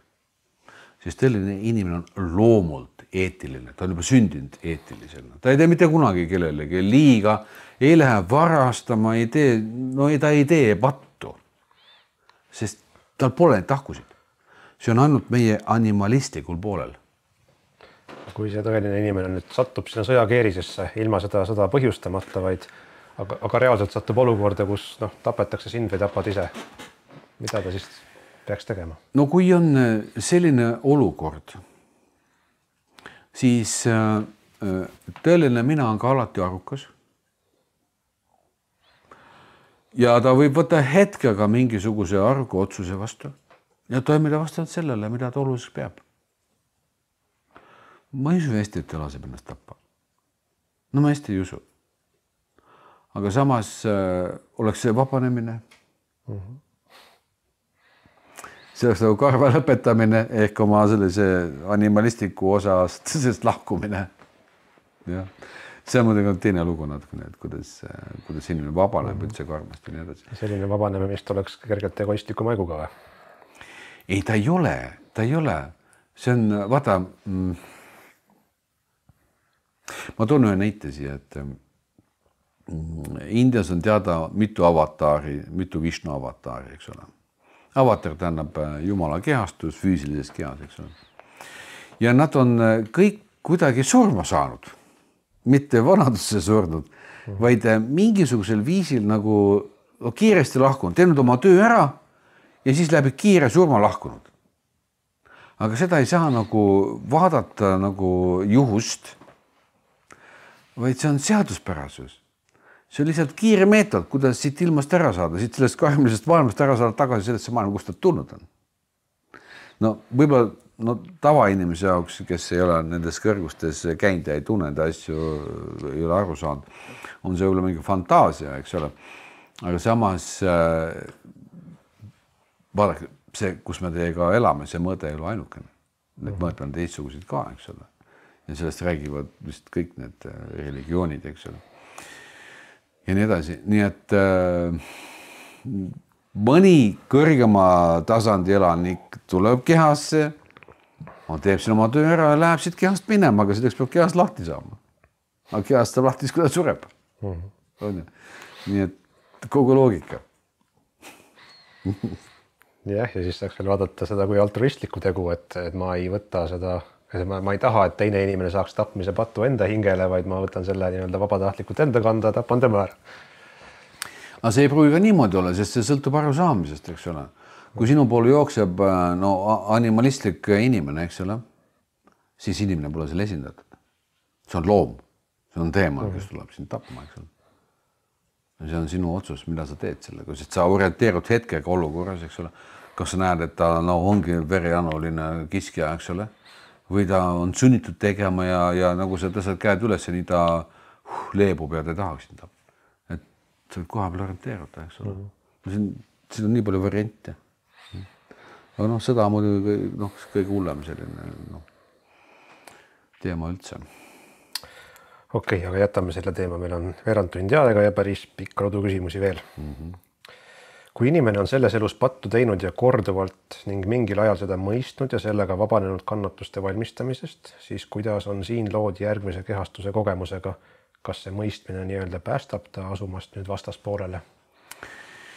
ma arvan, et, et see taipamine lõpetab ära selle patu taastegemise mm, -hmm. aga ei vabasta tehtud pattudest.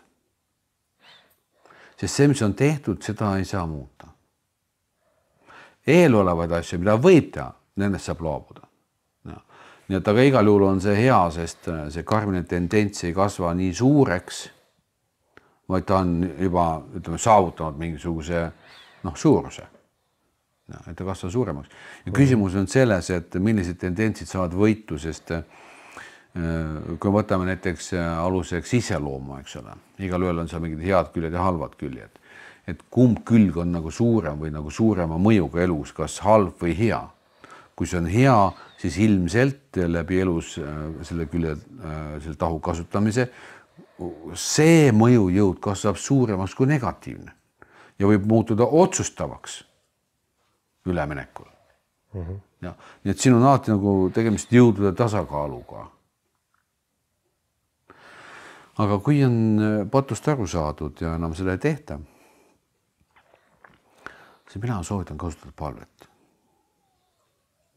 võime pärast koos midagi no teha siin lõpupoole mm, -hmm. et kuidas see võiks välja näha. hästi, teeme seda mm. -hmm. nii, ahah aga ikkagi, kui Indias on need kõige paremad teadmised olnud terve igaviku juba, siis loogiliselt võttes peaks seal olema ka maailma maapealne paradiis. Aga näeme hoopis vastupidist pilti, kus inimesed massiliselt kannatavad ja on vaesuses viletsuses. vaata, kuidas ma sulle ütlen, et äh,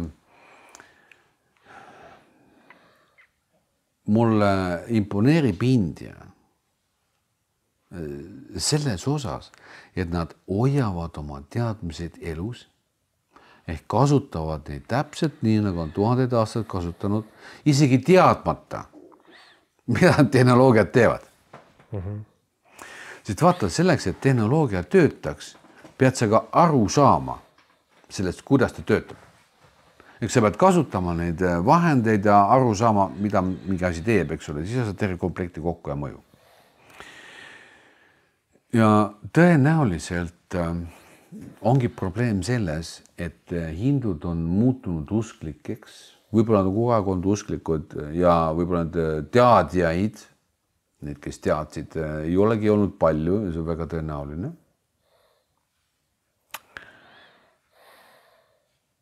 ja see on see põhjus, miks India täna selline, nagu ta on. seal on teadmine, aga see sisu on kadunud. see on nagu auto on, aga mootor on ka, aga ei tööta. Kõik käivad autos istumas, rooli keeramas, aga edasi ei liigu. aga jääb mulje nagu no oleks, eks ole. et vot see on küll kaduma läinud seal. ja, ja, ja sellest on vahest väga selgelt aru saada, aga samas on ka inimesi tegelikult, kes näiteks samas Tarpane protseduur, millest ma rääkisin, et samas inimesi, kes tegelikult teavad veel noh, või on noh, nagu, nagu, nagu taas aru saanud nendest protsessidest mm, -hmm. miks neid tehakse, kuidas tehakse, siis nad muutuvad uuesti toimivaks. Sest äh, noh, ma ei tea, võta või äh, võta või tavalised palved näiteks kirikus, eks ole, et need on ka ju vanad iidsed palved, mis olid toimivad mm. -hmm. on nii, aga kui täna neid lausutakse lihtsalt formaalselt, eks ole, lihtsalt noh, nagu sõnu ja nad ei toimi lihtsalt sellepärast, et seal ei ole teadmist taga. ei ole reaalset teadmist, mis on sõnade taga ja seletusega ei tööta. see on nagu noh, on tühjad sõnad ja on nagu tähendussõnad, eks ole, et siin on, see ongi see erinevus sees. sest ega Hiinas on ka samasugust teadmist, on ju nii nagu, nagu Indiaski. ja ega seal ka kõik väga korras ei ole mm. -hmm. nii et äh, nagu, kuidas ma ütlen sulle, nagu selle arusaamise defitsiit on olnud igal ajal ajastul inimkonnas, igal ajastul mm. -hmm. Mis ei ole muidugi väga-väga hea nagu no tendentsina, eks ole, aga mm, -hmm. aga seda ei ole ka nagu spetsiaalselt nagu arendatud.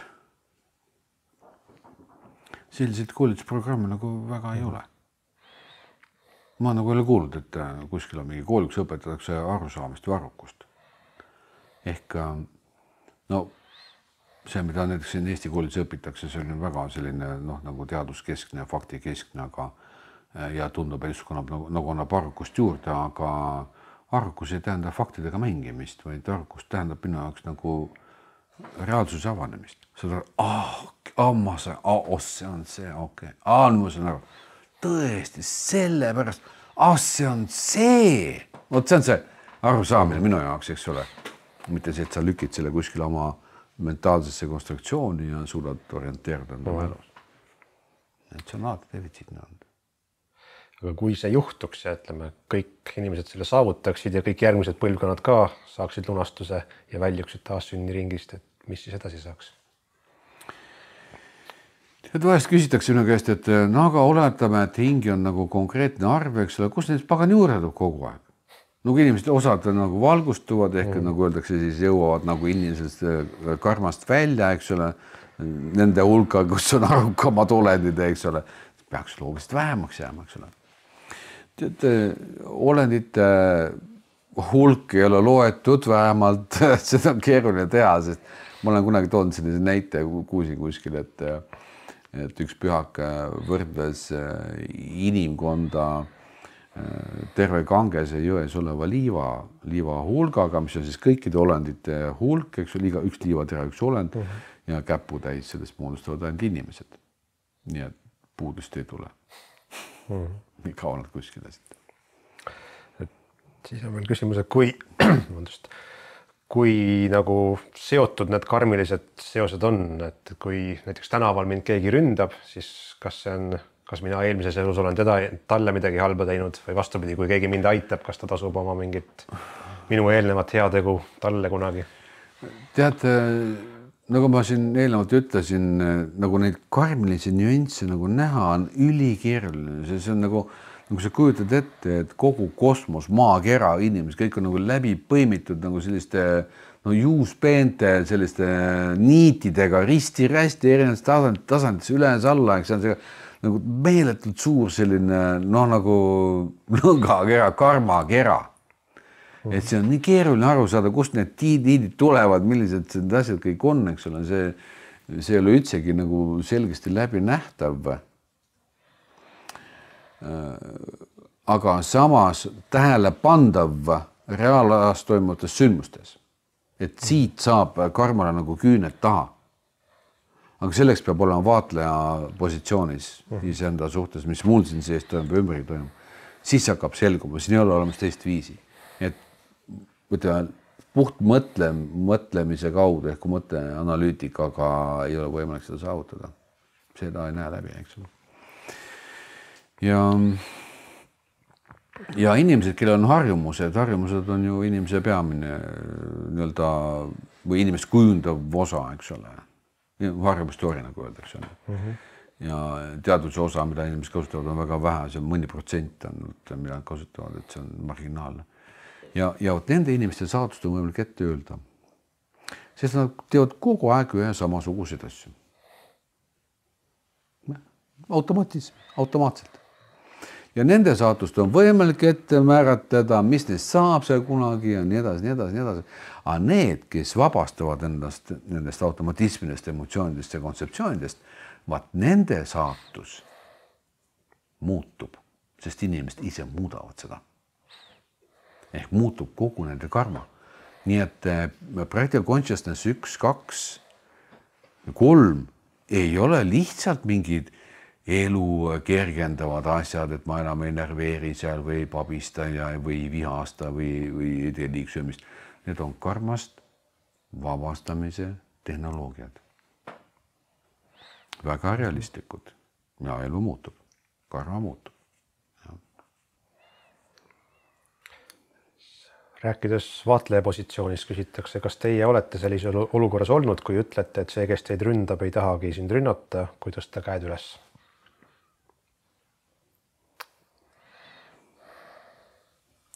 oota, kas, kas minuga on juhtunud sellist asja või? jah, et kui sa niimoodi väidad, et äkki noh, et võib-olla tõstad käed üles ja siis ründaja ei ründagi, et kas sa ise oled sellises olukorras olnud? tead, äh, ma olen olnud sellises olukorras kunagi väga-väga äh, ammu kui ma käisin karate trennis, see oli kuskil, ma ei tea, kaheksakümmend, kaheksakümne, kaheksakümmend üks või kaks või kuskil niimoodi, eks ole. enne või pärast seda, kui sa tänaval naisi vaatasid? samal ajal ja ma mäletan, ma, ma elasin Tallinnas ja siis ma käisin Piritalle trennis ja see oli teine trenn. Tulen trennist õhtul koju, ma olin äh, Kadrioru juures, elasin Tina tänaval, eks ole. seal on park vahepeal, tuled bussi pealt maha, eks ole, spordikott ja no kõik need riigised karatariided sees, eks ole. ja lähen siis baarist äh, läbi, kamp. kamp kutte, no teada, mida tean, eks ole. mis ma tegin? ma panin otse keskelt läbi niimoodi ette ei ütle mitte ühtegi sõna, ei isegi selja taga mitte midagi. ma ei tea, kust mul niisugune julgus tuli üldse, aga no teine, kaks korda olin käinud, kujuta ette see ei oska üldse mitte midagi ja kütsin läbi lihtsalt nii et kui su, sul on selline, selline karma, kus sa pead puutuma kokku selliste olukordadega, siis sa kindlasti puutud kokku kui sul ei ole sellist karmat, sa ei puutugi kokku selliste olukordadega. Nii et äh, kui ma ütlen, et minu elus ei ole olnud selliseid äh, seisusid väga palju, kus on no mingi füüsiline vägivald näiteks ootab ees või midagi sellist, siis äh, see on karmiline. aga osasid klohmitakse no igal pool või raputatakse rahalist välja, et, et noh, see ongi, ongi karmiline sõna otseses mõttes. aga karm on ju saatus eesti keeles, eks ole, et saatus on ette määratletud, iga inimene, inimesed mõtlevad, et oo, ma olen niisama õnne sepp, ei ole, tutkit. see on ette määratletud, aga see on nii ära pedetud, et sa ei saaks aru, et see on süsteem, mis sind juhib. jättes ainult mulje, et sul on mingid valikud siin, sul ei ole valikuid, sest sa valid alati ainult ühe valiku. millegipärast on ju. nii et äh, minu meelest on väga hea õppida oma saatust muutma. Jah, sest äh, kui sa seda muudad, siis ta muutubki sõna otseses mõttes. ja sa ei ole enam ennustatav ja, ja, ja, ja sind ei oota enam ees kõik need asjad, mis võiksid oodata, sest sul ei ole põhjust enam mm. -hmm. nii et ei pea alistuma enda elule, enda saatusele, seda saab muuta väga efektiivselt, on vaja teada, kuidas kas sul on äkki tuua mõni ka mõni hea näide sellest, kuidas nende sinu õpetatud tehnikate ja, ja meetodite abil on keegi saavutanud sellise ülikiire elumuutuse ja karvast vabanemise, mis võib-olla on isegi üllatav olnud? tead, see ülikiire asi tuleb ära unustada, sest see ei ole tablett mm. -hmm. sa vabastad ennast enda saatusest või karmast täpselt nii efektiivselt, nagu sa ise seda teed. ja see käib üks karmiline tendents teise järgi ehk üks emotsioon teise järgi, mitte korraga. see võtab aega kõik, aga see tasub ära ennast, sest muutus on pöördumatu. muidugi on ka, no ma toon lihtsalt mõned drastilised näited, eks ole, et äh, näiteks äh, üks, üks inimene rääkis mulle, et äh, ta ei ole oma emaga läbi saanud, no ma ei tea, aastaid. kord aastas, aastas saavad kokku ja ikka lõpeb catch'iga, noh, mingi sünnipäev näiteks või, või ma ei tea, kuna jõulude ajal või kuidas kokku said, eks. Jälle lõpeb catch'iga, jälle aastavahet. Ja siis jäävad jälle kokku, jälle catch, eks. Ole, no ema-tütre suhed väga viletsad, eks ole. siis ta tuli kursustele, ta vabastas enda emotsioone, nii järgmine kord jälle tuli see, see daatum, eks ole, ette, läheb sinna. mitte mingit catch'i ema positiivne, tema ka positiivne, kallistavad nagu kõige paremad sõbrannad. selline muutus. jah. või siis näiteks äh, selline olukord, et ähm,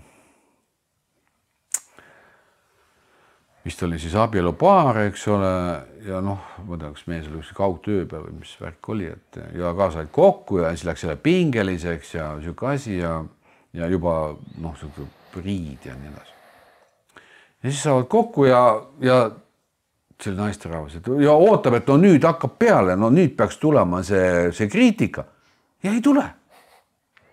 Pole. muidugi see mõjutab ja muudab, eks ole. või siis noh, neid näiteid on nii palju, aga nad on niisugused noh, minu jaoks on niivõrd tavalised, eks ole, et sa noh, ma no, no ma ei tea, no enam avastad, sa enam ei taha kedagi taga rääkida. Või sa taha kedagi kriti kritiseerida enam, see on nagu täitsa pointless, eks ole. sa ei taha ennast võrrelda kellegi teisega, sul lihtsalt pole pointi, eks ole. või sa noh, näiteks sul ei ole hirmu enam näiteks tea, minna poodi, minna rääkima kedagi, minna esinema, no ei ole lihtsalt enam. ja alati sellist, sellist head avastust, et sa ootad, tuleb ja ei tulegi, sest ei ole enam. no noh, mõned siuksed näited, eks ole.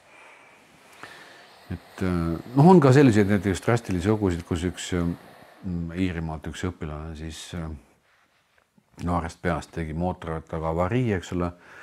tema oli juht ja siis tema parim sõber sai surma, teise sai vigastada, noh niimoodi, et tal ei ole ühte kätt, eks ole, ja noh, tõsised traumad siin ja ja ta süüdistas ennast kõiges selles ja oli alkohoolik ja jõi ja võttis narkootikume ja nii edasi ja nii edasi ja ja noh, niisugune noh, niisugune nagu natuke nagu niisugune crazy'ks nimetati teda, sest noh, kui ta võttis alkoholi ka, siis läks täitsa nagu pööraseks ära, eks ole. pea kammis ära, nagu öeldakse. ja, ja tema, ma käisin, noh, tema käis ka kursustel, eks ole, siis äh, ja siis olime temaga, läksin talle külla, eks ole, Iirimaale, saime kokku seal ja siis meid kutsuti raadiosse, ta rääkis oma lugu, no mis temaga oli juhtunud. Mina lihtsalt panin mõne sõna sinna vahele, kui saatejuht minu käest küsis, aga tema rääkis lugu, see oli niivõrd liigutav lugu. kogu see story ja siis ta ütles, et täna mul ei ole mitte midagi enam, mul ei ole enam süütunnet. mul ei ole vajadust enda muret alkoholi uputada. et noh, kõik on järele läinud kõik pole enam, ta nagu, ta on täitsa teine inimene. ta ütles niimoodi, et ta läks Ameerikasse peale Iirimaad, et sealt loodust leida. Ja, ja kodused tundsid teda noh, nagu, nagu siukest noh, pöörast tüüpi, eks ole, kes ei saanud läbi emaga, isaga ja vennaga ja, ja no oli nagu kraakleja, eks ole. ja siis ta peale kursust läks koju ja keegi ei tulnud ära, et mis üldse juhtunud on.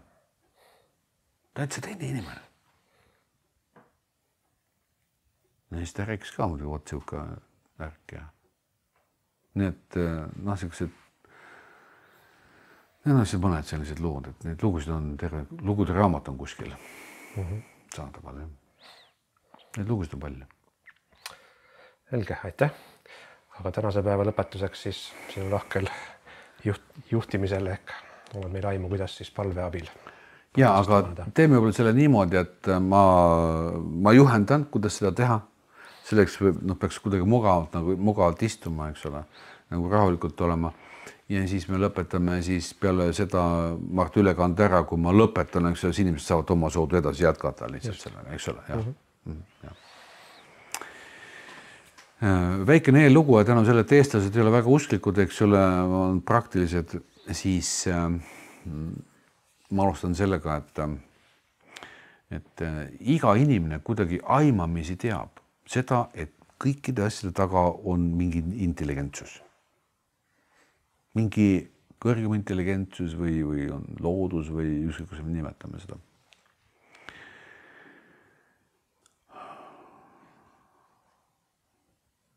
ja see on seal olemas. alustame sellega, et äh, eeldades, et see on niimoodi, esita küsimus kas sa oled siin? Ja siis oota kogemust.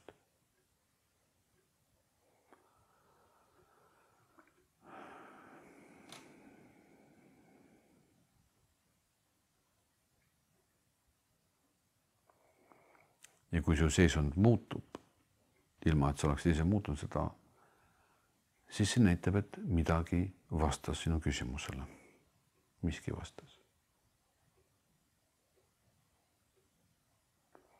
Et see oli suunatud küsimus, siis see, kes on kõikide asjade taga, siis see vastaski. järgmine küsimus võiks olla selline, et sina, kes oled kõikide asjade taga, kas sa armastad mind? ja luba vastusel tulla pea hoia mõtetest tühi.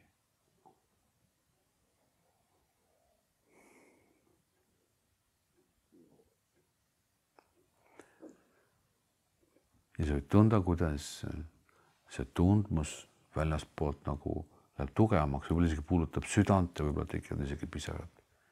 see on kõik hea. ja nüüd on sul olemas tõendid, et siin kõikide asjade taga siinsamas on miski, mis äh, kommunikeerib sinuga, mis vastab sinu küsimustele läbi tundmuste. Et saada rohkem tõendeid, saad küsida, kas sina oled see kõikjal olev. lase vastusel tulla.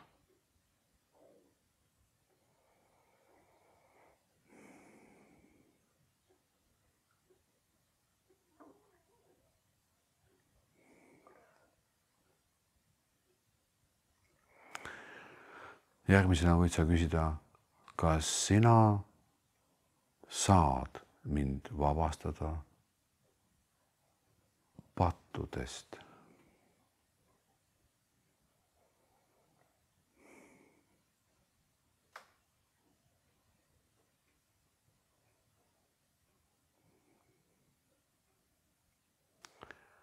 ja kui sa saad vastuse tundmusena, siis meenuta ühte enda nii-öelda pattumise rahujanna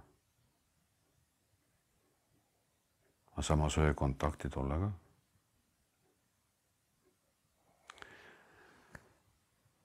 panna käed rinnale palmesse kokku ja pöördu. palun vabasta mind sellest patust, kui see on võimalik.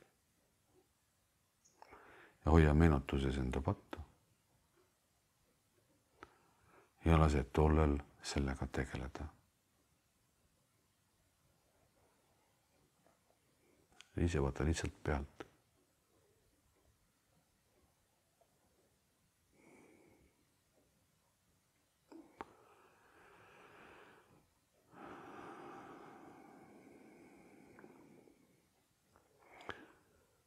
too tema ette patt patu järgi, mitte abstraktselt. Kõik patud, konkreetne patt, konkreetne palve. kui patt laustub ära, kaob ära, siis see on hea. kui jääb alles, siis sa pead sellest veel midagi õppima. ja jätka nüüd iseseisvalt.